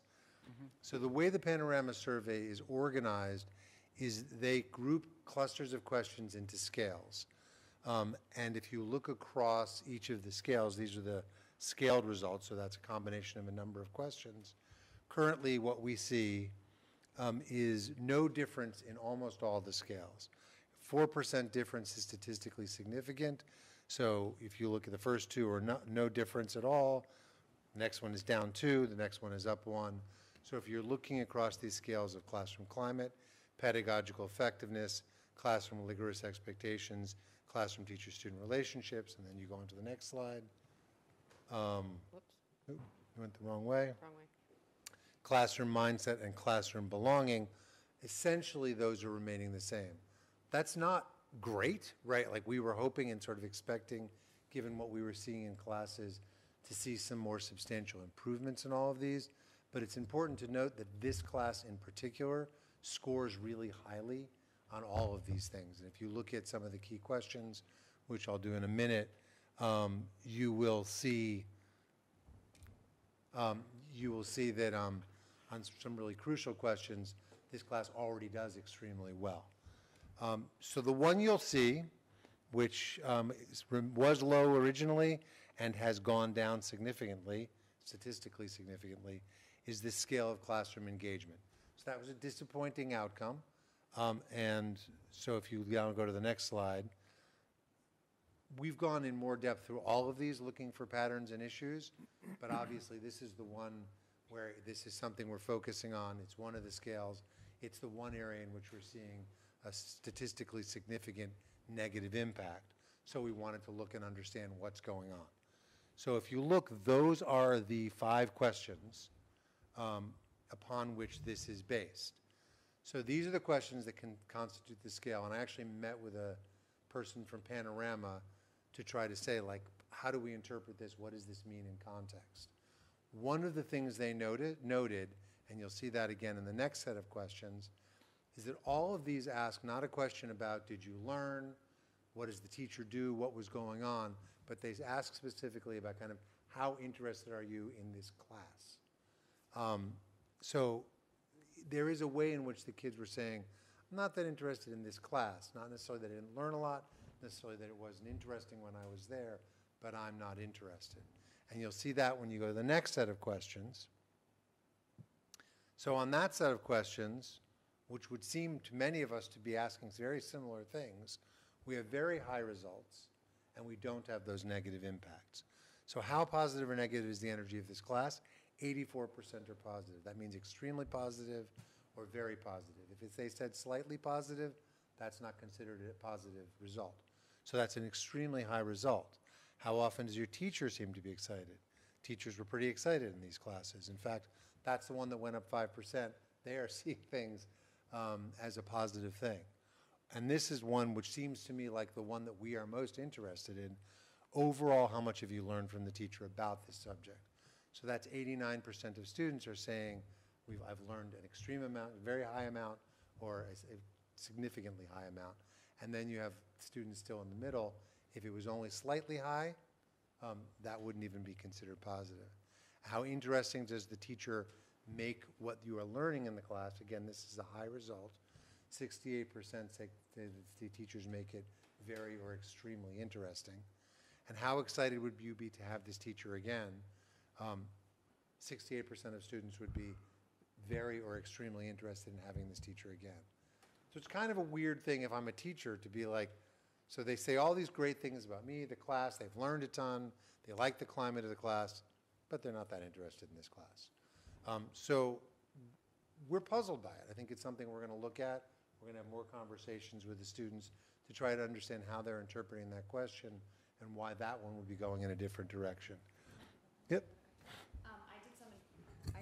Like informal, just asking my students about this specific question, like what is what is this? Kind of giving them some context. They obviously took the survey. They know what's going on. Very transparent. So um, to say what what does this question mean to you? Um, and so a lot of them were like, well, I mean, am I excited to go to school? I mean, I don't know. What is this? What, I'm not really sure what this question is asking of me. Um, am I excited to like I don't I'm not excited to go like run laps at my sport, but I love my sport. Um, so I, I think I don't know. I don't I, I don't know. I'm, I'm really curious to know more about um, what students or how students interpreted that question. And so I think this is our surmise to some extent, that students are saying to us in the current group of students, and this is something we're not just seeing in this English class, yeah, I'm learning a lot, yes, I'm going, but I don't really want to go to right? Like that, that it's, and that is an issue, but it doesn't appear to be an issue necessarily that's specific to this class. But looking at the very worst outcome, because let's be fully transparent, one of the things that the consultant pointed out, and this is true, is that if you look within the engagement, most of the movement is from high positive responses to middle responses. So they are more tepid as opposed to necessarily being negative, Mhm. right? So you'll see that more students are somewhat excited, um, and more students are slightly excited, whereas some used to be more quite and extremely excited. And that is a finding, interestingly, that the Panorama consultant said of sort of a, a universal um, a universal tepidness, that there's a move by a lot of students to not negative results on lots of questions, on lots of things that they're seeing, um, but to sort of more neutral responses. So that is something we will look at more closely. Um, so then the other questions that were real focal questions that we wanted to look at um, when we did the survey within the scales, one, obviously a significant concern, in fact, probably the primary concern of everyone when they talk about um, why, whether or not we should embrace inclusion in the heterogeneous model is the impact that there's a, that there might be some students who are having a neg- negative experience on students learning. So that is obviously a big question for us. And so the question was, in this class, how much does the behavior of other students help or hurt your, your learning? That remains generally positive, and it's also worth noting that the percentage of students who are actually negative is, who are saying that I'm actually being hurt, not just that they don't make a difference, is relatively small. Um, and then the second one that we were looking at, going to the next slide, which was a specific question that we wanted to focus on, is that direct question, how much do you feel like we belong? And again, that remains relatively high in this class. It's higher than the school overall by a substantial amount, um, and relatively high for high school students. And then if you look at the sort of more neutral questions, most of the um, remaining students remain in the middle part where they're a little bit more ambivalent, but not where they're not feeling like they do belong. Um, so what does that mean? 2,000 foot thing.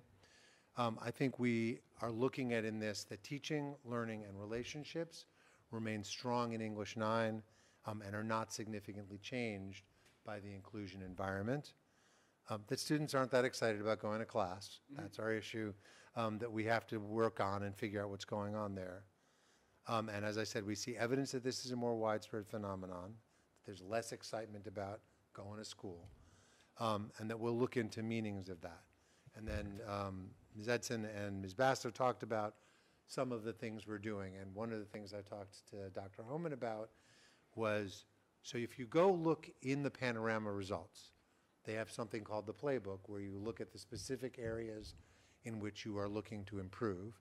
And when you go through and you click engagement and you click high school and you click English, the things that pop up in particular are things like, what did you call it, the collaborative interval training? Is that what it's called? The collaborative interval training. Collaborative interval training is um, an approach that focuses on academic discourse, which, shock of the century, is what our ILT has decided we as a school are focusing on next year. It's always great when a plan comes together. Um, and so if you look at what we're seeing elsewhere and what the strategies are that help to address that, we feel like we're moving in the right direction. Um, so that is that. And then moving on to spring data collection. So we also conducted a caregiver survey um, where we reached out to parents and other caregivers to get their feedback. The questions that we put in there, we shared with the um, Curriculum and Instruction Committee last month. We asked one question focusing on each of these scales, sort of what we saw as the key or a summative question, because we're not going, we weren't asking the teachers the full 40. There's not a, uh, Panorama doesn't have an equivalent survey for parents at the classroom level. Because in part, generally schools are not super comfortable asking parents for that kind of feedback about individual classrooms because it gets into a level of teacher surveillance that most schools do not want to practice. So it was very nice, actually, that the teachers here were open to us doing this even at this level. Um, so if you look, again, my summary response to that is that on most of these um, questions, the parent responses remain relatively high, but interestingly, the parents generally give lower responses than the student responses on the equivalent question. So if you ask students how much they belong in class, 64% respond positively, 57% of those 50 parents that responded um, felt responded positively. And you go through again, 84% responded positively about the overall climate for students, 73% for parents. I, I don't need to read the chart to you. Um, I'll be honest, as a parent of a teenager, I think that may have a little bit to do with how students respond to their parents. Like, you know, they, they, they respond a little more tepidly about going to class. And I think also probably it's um, a little bit of just a result of the people who choose to respond to surveys tend to have a slightly um, stronger opinion. Um, But overall, the responses from the parents were positive, and the, they were just less positive than the students. Um, There were 28 parents who, in the open-ended response, made a comment which could be interpreted as whether they were giving a sort of thumbs up or a thumbs down to heterogeneous grouping. They were more positive than negative, 15 were positive, and 13 were negative. The negative comment generally focused on, going back to that initial question, my student is learning, but there are some students who aren't great to have in class. Um, and so, um, you know, that is, I think, a question that we have to ask. But one of the things I think we want to think about is that may be the nature of an inclusion class. That what we really want to focus on, if your student is learning a lot, if their experience in the class is positive, if there's not a negative impact of other students, then there's not a strong argument for moving away from inclusion, which we know benefits all students much more. So we've already done teacher feedback, we've already done student feedback, so now we are getting to the last slide. So going to slide 18, I believe that is.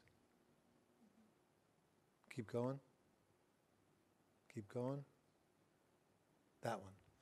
So in terms of the outcomes and evaluation, honors level participation, we've seen significant positive impact on overall participation and equity. Student grades, we've seen overall improvement. Rigorous expectations are generally strong and unchanged in terms of teaching, learning, relationships, and belonging. We need to explore the engagement scale result. Future enrollment in honors, it appears that this increase is sustained to next year. And achievement in MCAS scores, we don't know yet. So next steps in the fall, um, my proposed timeline of presentations and next steps would be that we, in October, when we have the grades from this spring and participation rates for the fall, we come back and give you an update. That in December, we would have term one grades. And assuming things are generally okay and that we haven't found something really horrible about engagement, um, we would make a recommendation for the program of studies for the following year. The things that are sort of in the wind are continuing the pilot, so continuing in English 9, um, and potentially moving heterogeneous English to English 10, so you have comparisons, and doing a pilot at the 10th grade level. Um, and then in June of next year, we would come back to you again with uh, the semester one grades, or maybe the quarter three grades, semester one participation rates, and panorama results. Thank you. Members of the committee. Mr. Kardon. Thank you. Um, So thank you for including the full panorama results uh, in the, in the Novus materials. That's the kind of transparency we're looking for. Um, I do want to point out, though, on the, on the um, expectations section, um, there's four questions. One of the questions has the highest drop of any question in the entire survey.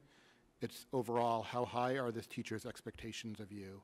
Dropped 16% favor, uh, uh, from last year. So I think that's, uh, although the overall expectations blend is okay, I think that question itself is a little bit alarming. Thanks. Mr. Thielman. Thank you. Um, Yeah, so, well, Mr. Kardon picked up the, a key point there. Um, I, I'm, I'm wondering to what degree you all took the engagement questions and reflected on your practice in the classroom, collectively, all the teachers who teach ninth grade ELA, not just all of you. Like, how would you assess the group's reaction to these numbers, and what kind of change in instruction did you guys discuss? This is the teachers. Just got these results, so that's um, over the summer. That's our plan is to look through all the specific questions and kind of like if we were to get a test and we noticed that, oh wow, it you know when we go through let's say a, a common exam that we give and we say wow everyone most of the kids didn't do so well on question Mhm. whatever um, then that's indication to us like okay what did we what didn't we do or what did we do um, that where they were struggling in that area so i think we plan to do the same thing over the summer to take a look at those questions and to say all right what was it about the classroom where we could have we could have done this or that or you know working with those specific questions does that whole- address your question Is the whole group, in- yeah, that's a question. Okay. yeah. Is the whole group of, of faculty in the ninth grade involved in the summer activity, the summer, not the whole the, only the english teachers I mean, the whole ninth grade, yeah. yes in yeah, the summer all the ninth grade teachers All you guys are meeting to talk about. Correct. So we just got these results in from the Panorama survey about a week ago. Yeah. So we haven't had an opportunity to meet as ninth grade.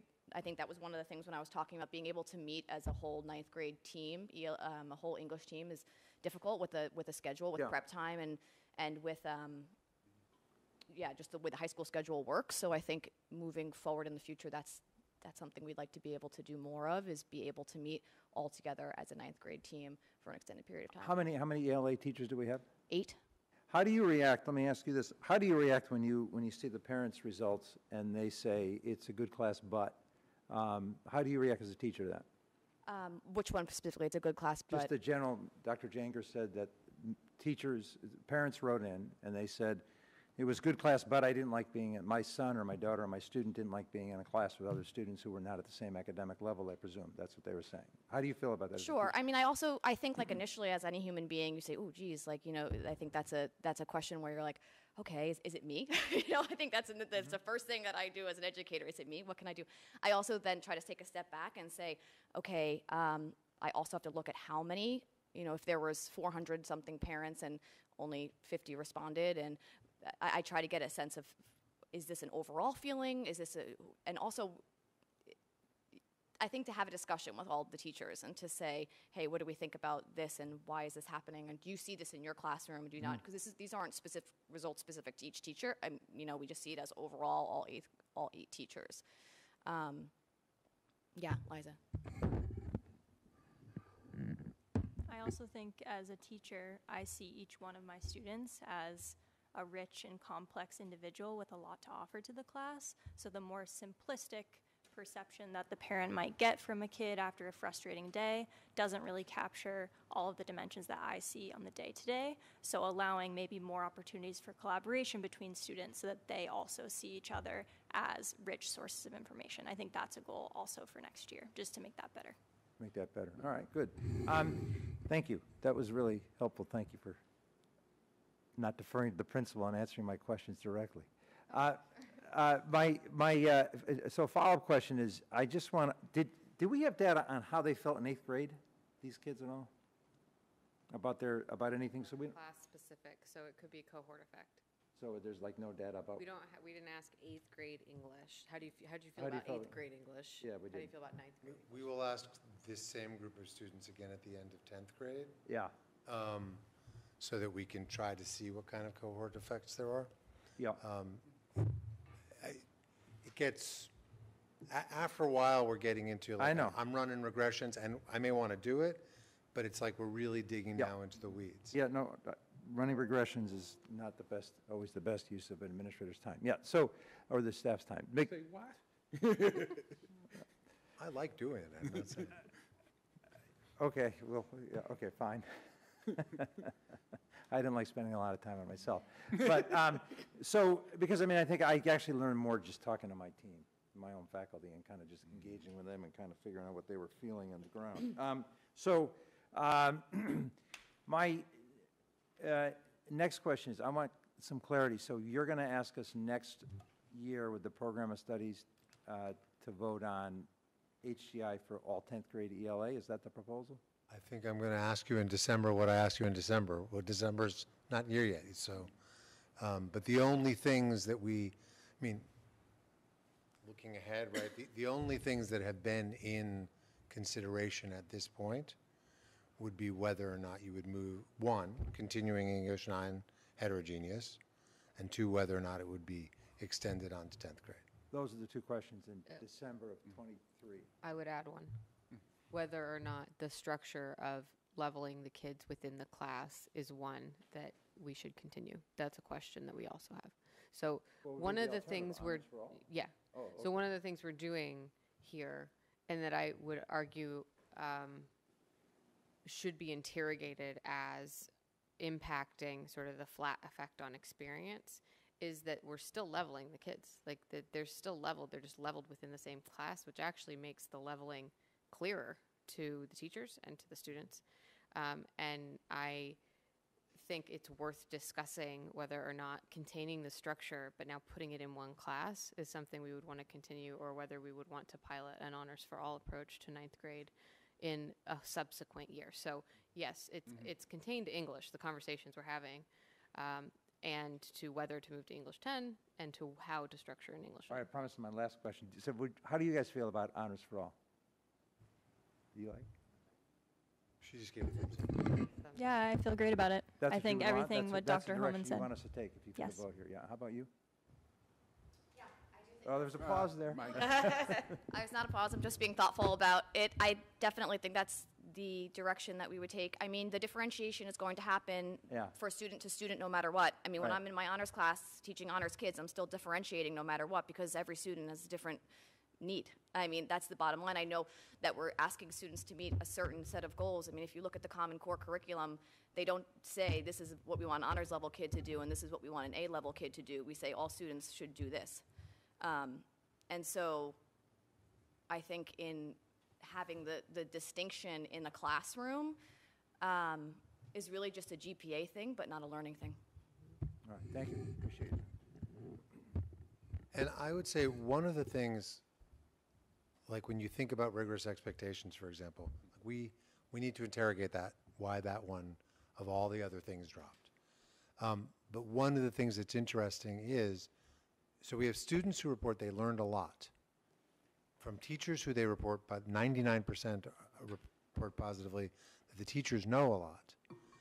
They have good relationships, and the teachers report that the quality and consistency of the students' work is the same or comparable to past work, if not better. And yet the students feel, somehow are interpreting this experience as one of the things that's gone away is it's less rigorous. And so some of that has to do with this sort of question for, for some folks about how do they make those sorts of interpretations, right? Um, and it's not easy to know what is more rigorous. So I think one of the things that the teachers are looking at doing this summer, which I think will be very helpful, is by providing exemplars of work.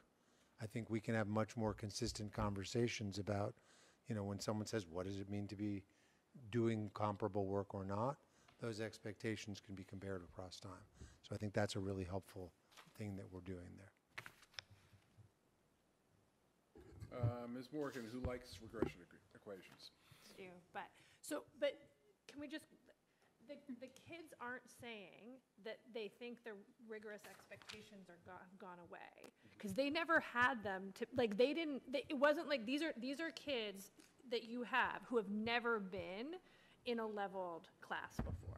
They had heterogeneous seventh grade English, heterogeneous eighth grade English. So they're not comparing this to what used what used to be right the people who make those comparisons are like people like me who has a kid who took honors english right? And then has kids who are taking heterogeneous english right? Like we may be able to see that but the kids who you surveyed aren't comparing it to a leveled class because they've never had one right? They're just saying that they're they're saying that this year those kids taking ninth grade english are saying the expectations are not particularly rigorous.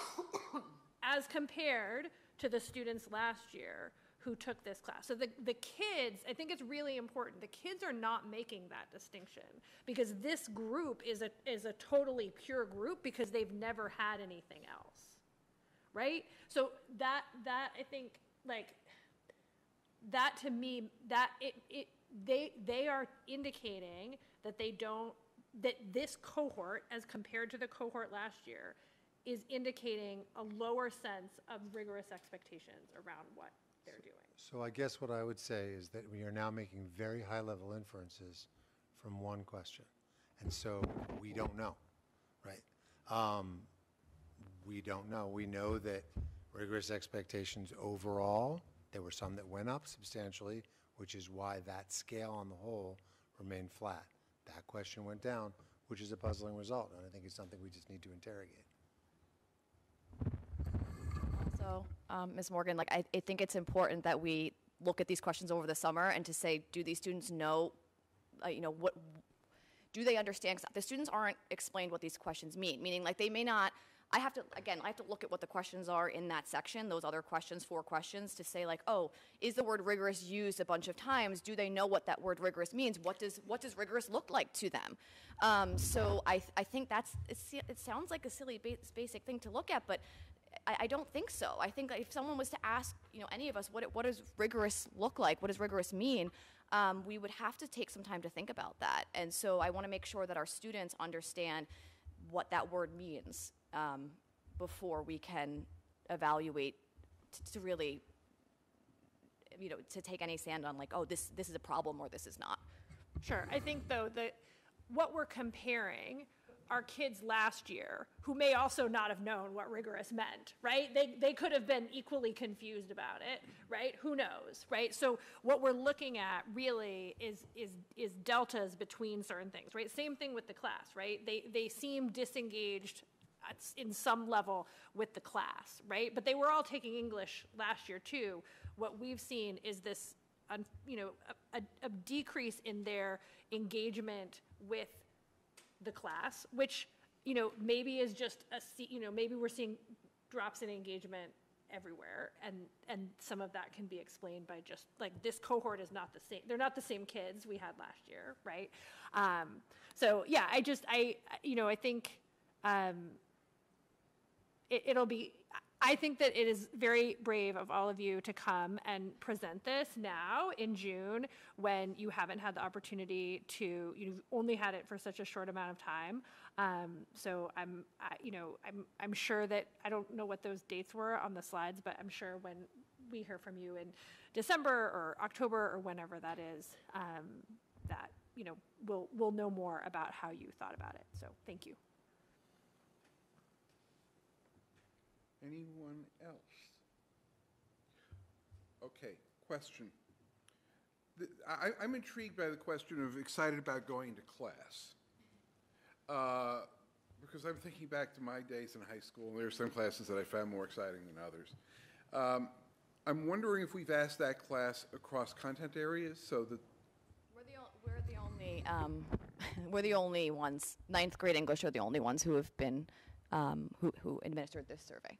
So I just, I do think that's another thing. I was wondering myself, like, well, excited compared to what? You know, I mean, I mean, not, not that I would want to like ever put like content areas up there and be like, look how well English did or something, but it was, it's interesting to me to see like, we, you know, and I, and along those lines, I just to, I really want to thank my, um, my colleagues for working really hard on this all year and to be the only ones who have been kind of just putting themselves out there in a way that um, we're not used to and also that no other people have been doing. So um, I just, I do, I want to thank, I'm lucky to work with the team that we work with and thanks to all of you for allowing us to explore this. I'm thrilled you're doing it. The other thing I'd warn you about is if you're going to come back next year and talk about how the kids are viewing the class as more rigorous, uh, explaining what rigorous is will will pollute the uh, cross-year comparison. Because if you stand there and say, "Hi, welcome to rigorous ninth grade English,"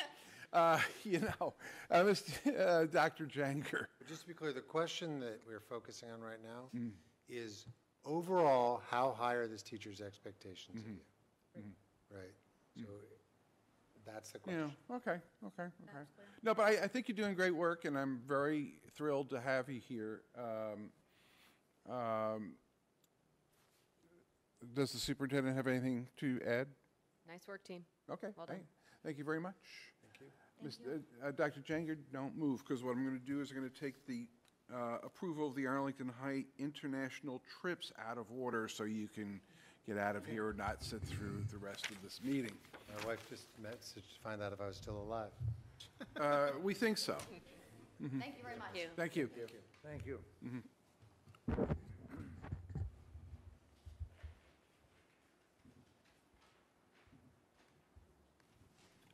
slides.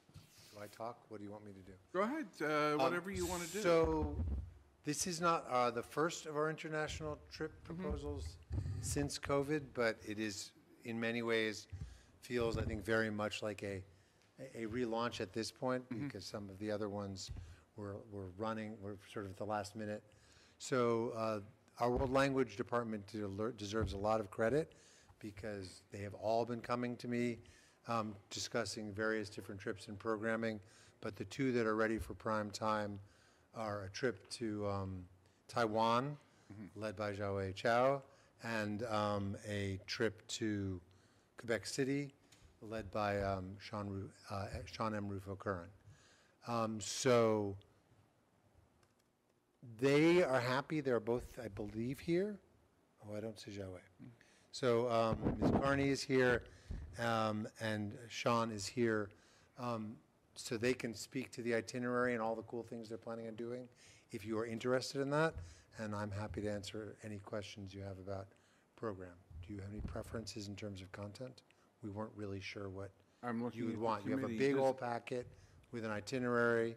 You have the board Mm-hmm. packets for both of them, um, as well as the survey, which tries to answer sort of questions that school committees have asked in the past. Why don't we try going down uh, to the committee and ask, let them ask some questions? Does anyone have any questions? Uh, Ms. Morgan? Um, I actually have a comment um, for uh, for Sean. I um, have always had a really hard time with these trips. Um, the Taiwan trip, I can't support a trip that costs five thousand dollars, but I am um, absolutely delighted. I don't know that I have ever seen on the school committee an international trip that's been at the like thousand dollar mark, um, and that's um, it's just incredible for making something more uh, accessible and available to so many more students. And um, I'm, I, I know that it's can be harder to do that, and I know that it, it looks like you're going to be expected to sit on a bus with our kids. Um, and um, I just, I really wanted to express my personal gratitude um, for uh, bringing something like this forward. I do think that it is the kind of thing that when people see it happening, um, that we may get more interest in running more of these trips that are more affordable for more of our students. So um, I'm really looking forward to supporting that one. I haven't uh, supported an international trip in quite some time, so um, I'm excited to vote for that one. Okay, so first we'll enter- entertain, a- lo- Ms. Ms. Morgan, would you like to make a motion to I approve the? would. I- would. Yes, I sure would. Yes, I would like to make a motion to approve the uh, very uh, fiscally responsible trip to Quebec. And a second by? Second. Uh, Ms. Gitelson. Okay, uh, any other discussion on the Quebec trip besides February cold Quebec? Hearing none, all in favor? Yes. Yes. Yes. Opposed? That's a unanimous vote. Uh, Now I'd entertain a motion on the Taiwan trip. Who'd like to make that? Mr. Thielman I move approval of the moves Taiwan trip. approval of the Taiwan trip, second by Second. uh, Ms. Exton. Um, Any further discussion on the Taiwan trip? Can I ask a question? Go right ahead. What, how, as the newest member, of, I've never voted on one of these before, I, I share, I've seen Ms. Morgan talk about the equity issues before and followed it not super closely. Um, How, what do we do to address how very expensive that is? And, and maybe for other comparable trips in the past, like, uh, uh, have we, have those efforts made a difference? Dr. Janger. So one of the challenges of leading or allowing these international trips to happen is just the equity of access. Even a $1,500 trip is prohibitive for some families. Um, I think the trade-off that we make as a community is that because we offer international trips, we are able to make them accessible to many students who would never have that opportunity through any sort of private provider or anything their family could do on their own. Um, The way we do that is in part, um, we set aside $10,000 a year for scholarships, which is, you know, it does not make them equally accessible, especially with some of the more expensive trips. The trips do fundraising um, towards those, and one of the things that we plan for going forward is to offer a mix of trips so that, you know, there are trips available at different price points. So things like the Quebec trip have in the past been sort of every year or two. Um, In the Spanish program, we've looked at Puerto Rico um, because you can get there. Um, And so alternating those with cheaper trips, there's been some discussion about overnight trips that are domestic, that are more his- history-focused or other things. So there's a mixture of travel opportunities. Um, Taiwan is at the high end. Um, The reasoning behind that is there's a secondary equity issue, which is equally representing all of the language programs. So we have a large number of students who are committed to the Mandarin program, and if they're going to go to a native Mandarin country, it's mainland China or Taiwan or Hong Kong. Um, And so Taiwan is actually kind of a nice option um, in terms of being a little bit more accessible, but it's a very, it's far away and therefore very expensive. So fundraising, we are hoping, I think as a lot of these things were in place before, um, to be able to do more fundraising to increase the accessibility in the International um, Scholarship Fund. Um, Last year, when the, inter- when the, and many points to Papa, um, when the uh, music trip went to Italy, um, all the students who requested financial aid were able to be given what they requested. So, um, uh, so if we, so we have ten thousand dollars, if the trip is, So uh, if Dr. Homan hasn't taken the money back from me, we actually have $15,000 next year. and, and so do, you s- how, what, what, how, how big are the scholarships? Or do they vary per student? They vary. I mean, so we look across the group of students that apply, we look at the level of need that they have, um, and then we make a determination based on need and merit. And I'm, know it's in the materials, but how many students is the Taiwan trip s- proposed Yeah, for? that's- I mean, we take as many, usually we take as many students, we, we, I don't believe we've capped a student, a trip recently. The Mandarin program has about 125 students in it next year. Um, So it, we're not expecting that when, you know, the Spanish program is much bigger, the French program is much bigger. Um, So we would hope anywhere from 10 to 20 students. The price goes down as we get more kids. Um, It's a little bit easier to run them. Um, Realistically, and, you know, we are 14% free and reduced price lunch. If 14% of the students were requesting it, we could not cover it. Um, So. So I'm sorry, probably- fourteen percent are the, of, I mean, if 14, if, if it was representative of our student population, and we had to fully fund 14% of the students, we would, we would run out of money pretty quickly. So it ends up being a smaller number. though also fourteen percent is a pretty, look, I mean, there's a lot of kids who don't qualify for school Absolutely, lunch who can't afford a absolutely, no. five thousand dollar trip. No, I mean, so, and that is, that is the trade-off. If we're going to run programs like this, we're doing it because it gives us the opportunity to have some students and more students participate. And we try to have a mix to make it accessible. And as a long-term goal, we really want to expand that. Okay, thanks. District-wide, we are ten percent low income, but we use a qualifier, and that's the qualifier we use. We use the state's qualifier for low income, so they don't have to apply for benefits in order for us to qualify them for a scholarship, because not all families apply for free and reduced lunch, so we've been using that as our indicator for scholarships. Yeah, in the scholarship, the family shares what they think is appropriate in terms of need. Um, And then we just make a determination based on what we have. Hearing no other comments, I'll do a vote. All in favor of approving the trip to Taiwan, say aye. Aye. Opposed? Okay, uh, that is a four, to t- uh, the chair's voting in the affirmative. Why don't we do this by roll call, just to make this clean? Uh, Ms. Gitelson? No. Mr. Kardon? Yes.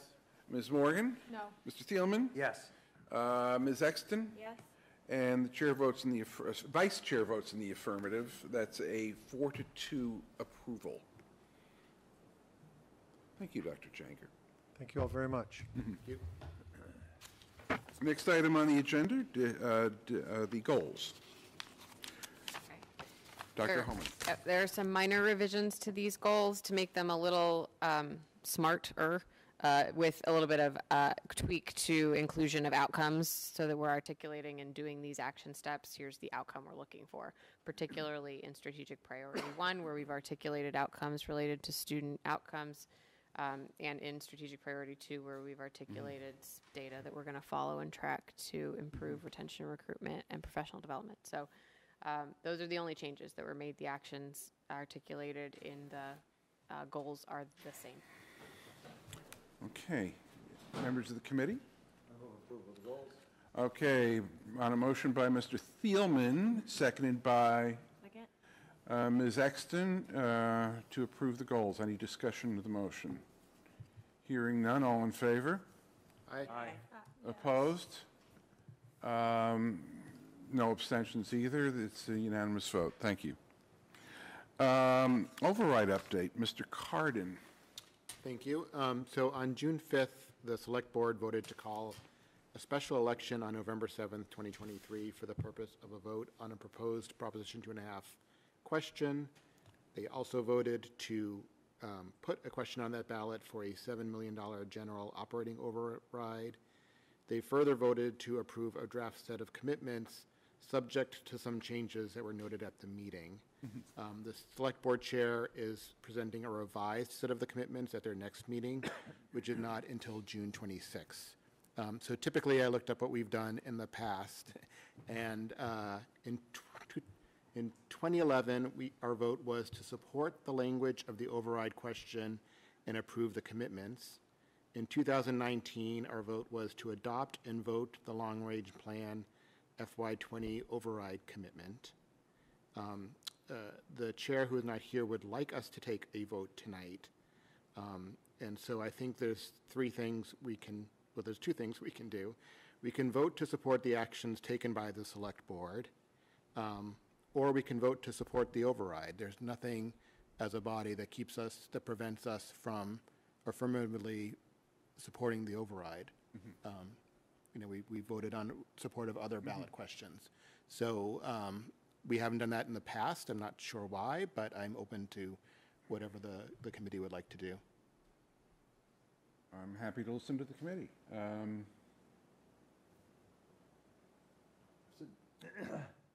The choices are vote to support the actions taken by the Select Board with regard to the override election, or vote in support of the proposed override. So either way, we, it's pretty much the same thing with the same result. Same outcome. Yeah, I mean, technically, the, the first one is, is approving the, the, um, the asking the voters about an override. And Right. the second one is affirmatively supporting the override. All right, I move that we affirm, I move sup- that the, the Arlington School Committee supports the uh, November 7th override. Second. Okay, we have a motion by Mr. Thielman, second by Ms. Morgan. Any discussion on the motion? Is that language good? Mm-hmm. Okay. We'll have a vote, and we'll do this by roll call, just because it's so important. Ms. Gitelson? Yes. Mr. Kardon? Yes. Ms. Morgan? Yes. Mr. Thielman? Yes. Ms. Exton? Yes. And the vice chair votes in the affirmative. It is a six-nothing unanimous roll call vote. Uh, Superintendent's update. Uh, Good evening, everyone. Um, congratulations to the class of 2023. We enjoyed a wonderful, if a little bit drizzly, Mhm. um, graduation ceremony a couple of weeks ago. I would like to update you that our crossing guard champion, Linda Corella, was honored at the State House recently. There's a press release linked in your materials, and if for any reason you can't actually access that link, I'm happy to send that um, or upload it to Novus later. Uh, this has been posted on the APS website and socials. We're very proud of the work that our crossing guards do to keep our students safe on the way to and from school. I'd like to congratulate Stratton student Anna Bode, who was selected for the Juvenile Diabetes Research Foundation 2023 Children's Congress in Washington, D.C. You can see Anna's story at the link that's in the slides, and I strongly suggest you watch it. She's going to be an incredible advocate um, as she grows up and becomes a citizen of Arlington. Uh, National History Day national competition was this week, and one project has advanced to the top 10 in the nation, which is spectacular. We're so proud of them. And one outstanding affiliate entry winner for Massachusetts, the title of that um, project was Now I've Got the Pill Oral Contraceptives and How They Changed the Lives of American Women. Good for them. And one project won first place in the junior group website category. That uh, project was entitled Mhm. PARC versus Pennsylvania Pioneering the Right to Education for Children with Cognitive Impairments. Super proud of our students um, and their brilliant projects. In addition, we have completed several administrative hiring searches. I don't have all of them listed here because they didn't fit on the slide, um, but I will share some of the ones that are more recently completed. Congratulations to our new Stratton principal, Amy Kelly, who has jumped right in and uh, been at the school, meeting students and teachers and hosting meet and greets with families. Uh, congratulations to our new assistant principals at Brackett, Michael Amaral, and at Bishop, Erin Spinney, who will remain. She was the interim this year and previously the assistant principal at um, Stratton. And Michael is new to the Arlington Public Schools uh, and is a music educator in his current district. Uh, our new Director of Research, Data, and Accountability, which is one of our newer positions this year, uh, will be Matthew Coleman, and we have posted for an interim Director of Mathematics um, because the continuation of this role or integrating it into the fiscal 25 budget would require the override. So we're going to post for an interim Math Director uh, while we see how that goes. Ongoing administrative hiring searches, in addition to interim math director, are for Hardy Principal. We've completed our initial round of interviews uh, and congratulated our finalists today and informed the Hardy community of those three finalists. The final round will take place on Friday and Tuesday, and I'll share the finalists with the full community tomorrow.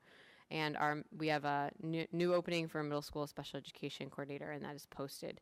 Um, I also want to thank our workplace students and teachers for their work honoring our fallen heroes. The Memorial Day display of flags um, up on Park Circle was beautiful, and uh, they work collaboratively with our uh, Rotary every year to do that display. So thank you to them for their work.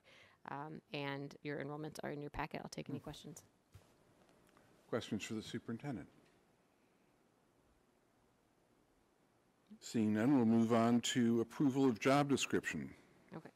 Um, so there is a job description that's been reviewed by CIAA yesterday afternoon um, and has been forwarded for your consideration. This would be a one-year grant-funded project designer who would be designing onboarding programming. This is an area of need that's been articulated through negotiations um, with Unit D. It's been something that we know is a need, uh, but it takes time to sit and design onboarding programming. Um, so we want somebody to come in and design it in a moment where we have a lot of new administrators also implement a lot of it. Um, as we welcome new paraprofessionals and hopefully have a fully staffed school system next year, we would like to also do some implementation of some onboarding programming for paraprofessionals. And what we really want this designer to do is spend a year designing what the program looks like, what the outcomes are, what the deliverables are for our onboarding processes and our mentoring programs um, and get this in writing and make it sustainable so that they can deliver it to us and we can execute on it. Um, so this is a need that's been articulated. We've collaborated with the AEA on the development of this job description and are really uh, co- like collectively looking forward to having someone to do this design and then hand it off to us to sustain. Motion by Move approval of the job description for the leadership development and onboarding program designer. Motion by Ms. Exton, second by Mr. Thielman. Uh, Any questions or comments? Hearing done, we'll go for a vote. All in favor, say aye. Aye. Opposed? It's a unanimous vote. Thank you. Um, We've done the high school trip, so we're now at the year-end financial update. Due to a personal emergency, Mr. Mason couldn't be here. You have the um, documents uh, for the financial report memo, and I will do the presentation with an update on ESSER 3 uh, now, and I'm happy to take any questions and attempt to answer them. Uh, If there are concerns about the report that Mr. Mason gave you with regards to conducting the transfers that we need to conduct at the end of the year, then we might need to hold a special meeting to address them, um, since I don't have him here to answer questions more explicitly. Um, I'm going to pull up the ESSER report and walk through that. It's very brief. So, as you know, we received ESSER dollars um, in multiple installments and in multiple different grants in order to address uh, the needs of our students during and across the course of the pandemic. APS was allocated $1.13 million in uh, ESSER funds. We had three initiative options that we shopped to the community uh, back in 2021, and the community uh, chose to support and move forward with option B, which was to ensure student access to consistent and equitable instruction, a focus on tier one. Um, so, we had some core initiatives associated with that when we launched it, and we've adjusted some of our action steps, but we've stuck with the goal of moving towards this, uh, these initiatives. So we were going to support the comprehensive equity audit and strategy development. Uh, the positions that are in the ESSER grant for next year are moving towards this because we're hiring a DEI specialist. Uh, expanding teacher leadership capacity system-wide. We've, uh, we were going to use actually the grant, the ESSER three dollars to increase ILT stipends. We've found a way to integrate that into the base budget next year using some revolving funds. Um, so we're hoping that we won't need to use ESSER dollars for that, but initially that was part of the plan. Uh, resources to support mental health engagement and school culture and accelerating and improving our APS coaching models, which we've completed at this point, so there aren't dollars allocated to that in FY24. So here's the expenditures to date and our FY24 overall spending plan linked to those four core initiatives. Um, you'll see the FY24 budget in that right hand most column, and the only one thing that's not still being funded on that is the improvement of coaching models because that work has um, been completed and is now being implemented. Uh, so on the spending plan for FY24 are the following things. We have communication specialists. Uh, it's funded at a level of 1.0, but it's split between a couple of folks who will be part-time. Um, an assistant director of high school counseling, which you were aware of, uh, DEI specialists. We've hired one, um, and we hired that individual in at a, a relatively high pay rate, so we're deciding how to use the additional allocation of that. Director of Research, Data, and Accountability um, is one we've just filled. A family liaison at Gibbs, which you've approved the job description for and is currently posted, we're working on hiring for it. The leadership development and onboarding coordinator that you, or onboarding program designer, is how that should read, that you just approved, um, and elementary literacy professional development, a significant allocation going towards our rollout of the new elementary literacy curriculum. So that's the plan for ESSER 3 for FY24 so that we can spend those funds all the way down. And I'm happy to take any questions about that or the financial report to the extent that I can.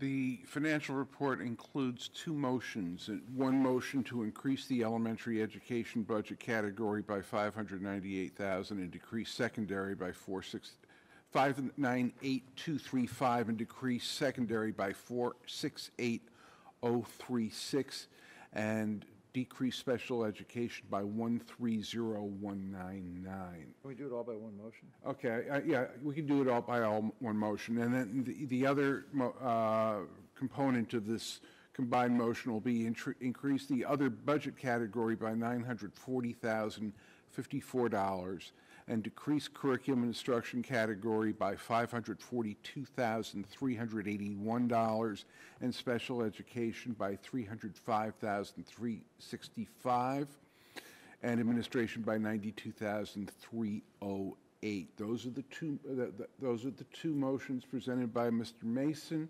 We'll combine them to one vote if that is the desire of the committee. Mr. Thielman. I move adoption of the, of the uh, motions, The- The budget transfers. the budget transfers uh, as As- described by Mr. Mason. As presented, yes. presented by Second, Mr. second by, second by uh, Ms. Exton. Any questions or comments? Hearing none, all in favor? Uh, Opposed? That's a unanimous vote. Thank you very much. Um, Policy and procedures. Um, We have for second reading, one deletion, which is file IJ-R, and we have four uh, files th- that will be in our policy manual for second read. File IGD, file KE, file KE-R, and file IMA. There's a slight correction to, I think it was IGD, Mr. Thielman? Yeah. Uh, Just a technical correction to that. Other than that, these are as presented for first read. Uh, I'm looking for a motion to approve this package. So moved. Moved by Mr. Thielman, seconded by Ms. Gitelson. Um, Any discussion? Hearing none. Uh, All in favor? Yes. Yes. Aye. Opposed? That's voted. Uh, We are now seven minutes behind schedule. Uh, We have before us, um, as as I asked to put into the agenda uh, at the last meeting, um, Regis Road used to be a pothole-filled mess. Somebody went and paved this private way, and now we've got cars speeding down it. Regis Road intersects uh, the corner of Everett Street, right at the uh, northwest corner of the Thompson campus. Uh, A lot of school traffic and pedestrians there, and there's no traffic controls. I've presented uh, for the committee a letter to be sent to the Select Board with your approval, so I'm looking for a motion to approve. So moved? Okay, motion by Mr. Kardon, second by Ms. Morgan. Any comment or discussion?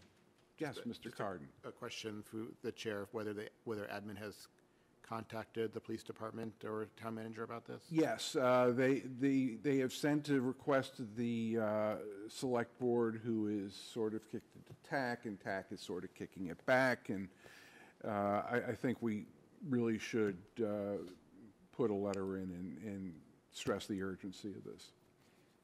Thank you. Mhm. Any other questions or comments? Hearing none, all in favor? Yes. Yes. Opposed? And that's a vote. 910, consent agenda. Um, All items on the consent, uh, all items listed on the, wi- with an asterisk are considered to be routine and will be enacted by one motion. There'll be no separate discussion of these items unless a member of the committee so requests, in which event the item will be considered in its normal sequence. Warrant 23288 in the amount of 747,000.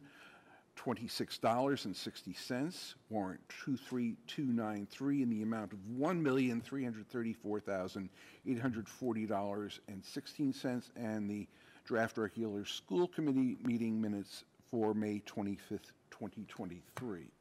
So moved. Moved by Ms. Exton, seconded by Ms. Gitelson. All in favor? Aye. Opposed? That's approved. Subcommittee liaison reports. Budget, Mr. Kardon. Uh, We will be scheduling a meeting uh, after the close of the school year. I'll check up on people's availability um, to uh, wrap up this year, uh, talk about the uh, initial money in the override, and um, uh, do a- a debrief of this year's budget cycle. Excellent, thank you. Community Relations, Ms. Exton. No report? CIAA, Ms. Morgan. We met uh, earlier this week, yesterday. Yesterday. uh, And talked about the, uh, wow, the job description. We talked about the school improvement plan um, template, Project U. Project U. at the Project Gibbs. U at Gibbs. Mhm. I don't know what else. Yeah, I think that was it. It was, it was a great meeting. Uh, Facilities, Mr. Thielman. No report. Policies and procedures, as noted in the agenda, we've been asked to look at ADF, Nutrition and Wellness Policy, JLCD, Administering Medicines to Students, and BEDH, Public Comment at School Committee Meetings, as well as now the uh, LGBTQ plus uh, agenda. So we're going to be busy over the summer. Uh, Prepare for a couple of meetings. Uh, Yes?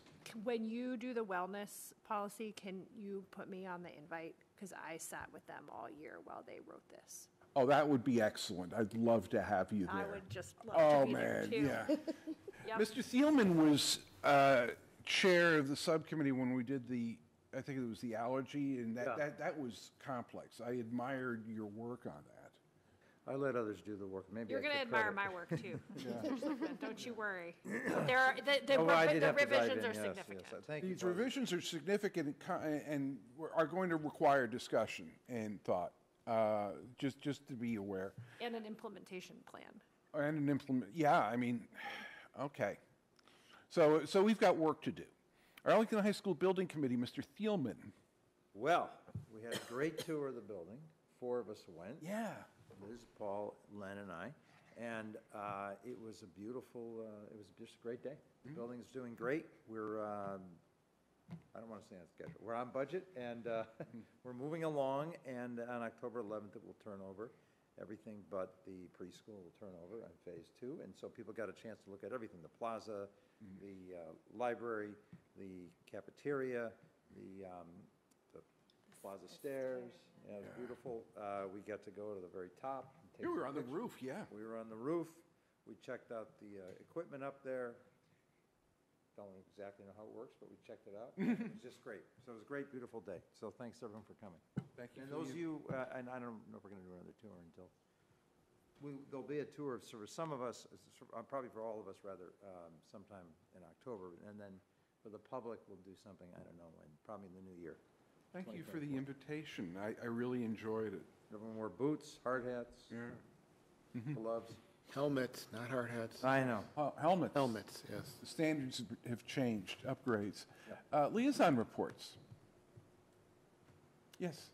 Uh, I went uh, Tuesday, it's been a long week, to the final CPAC meeting of the year.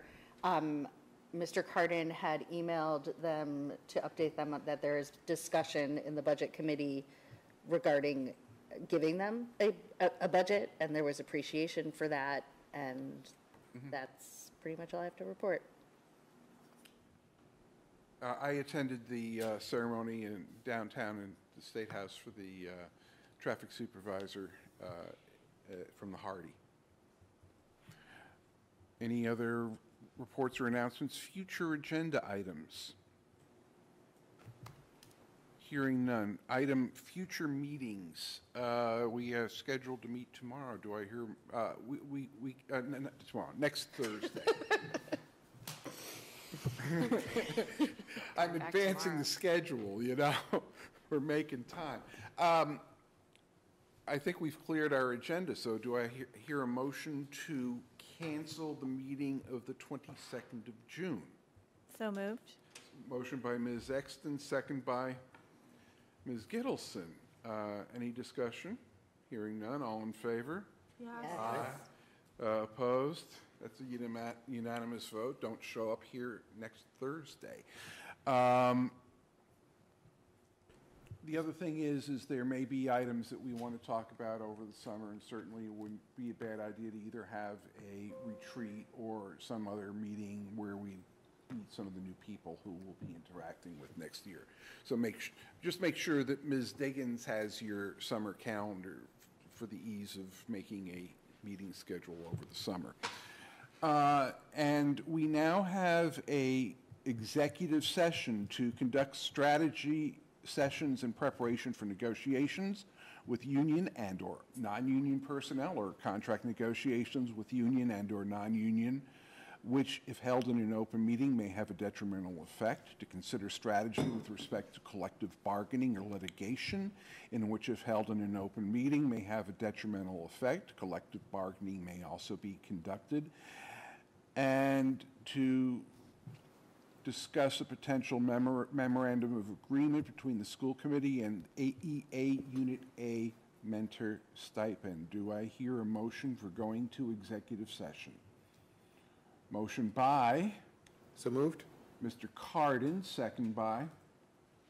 Mr. Thielman. Uh, Requires a roll call vote. Uh, Ms. Gitelson? Yes. Mr. Kardon? Yes. Ms. Morgan? Yes. Mr. Thielman? Yes.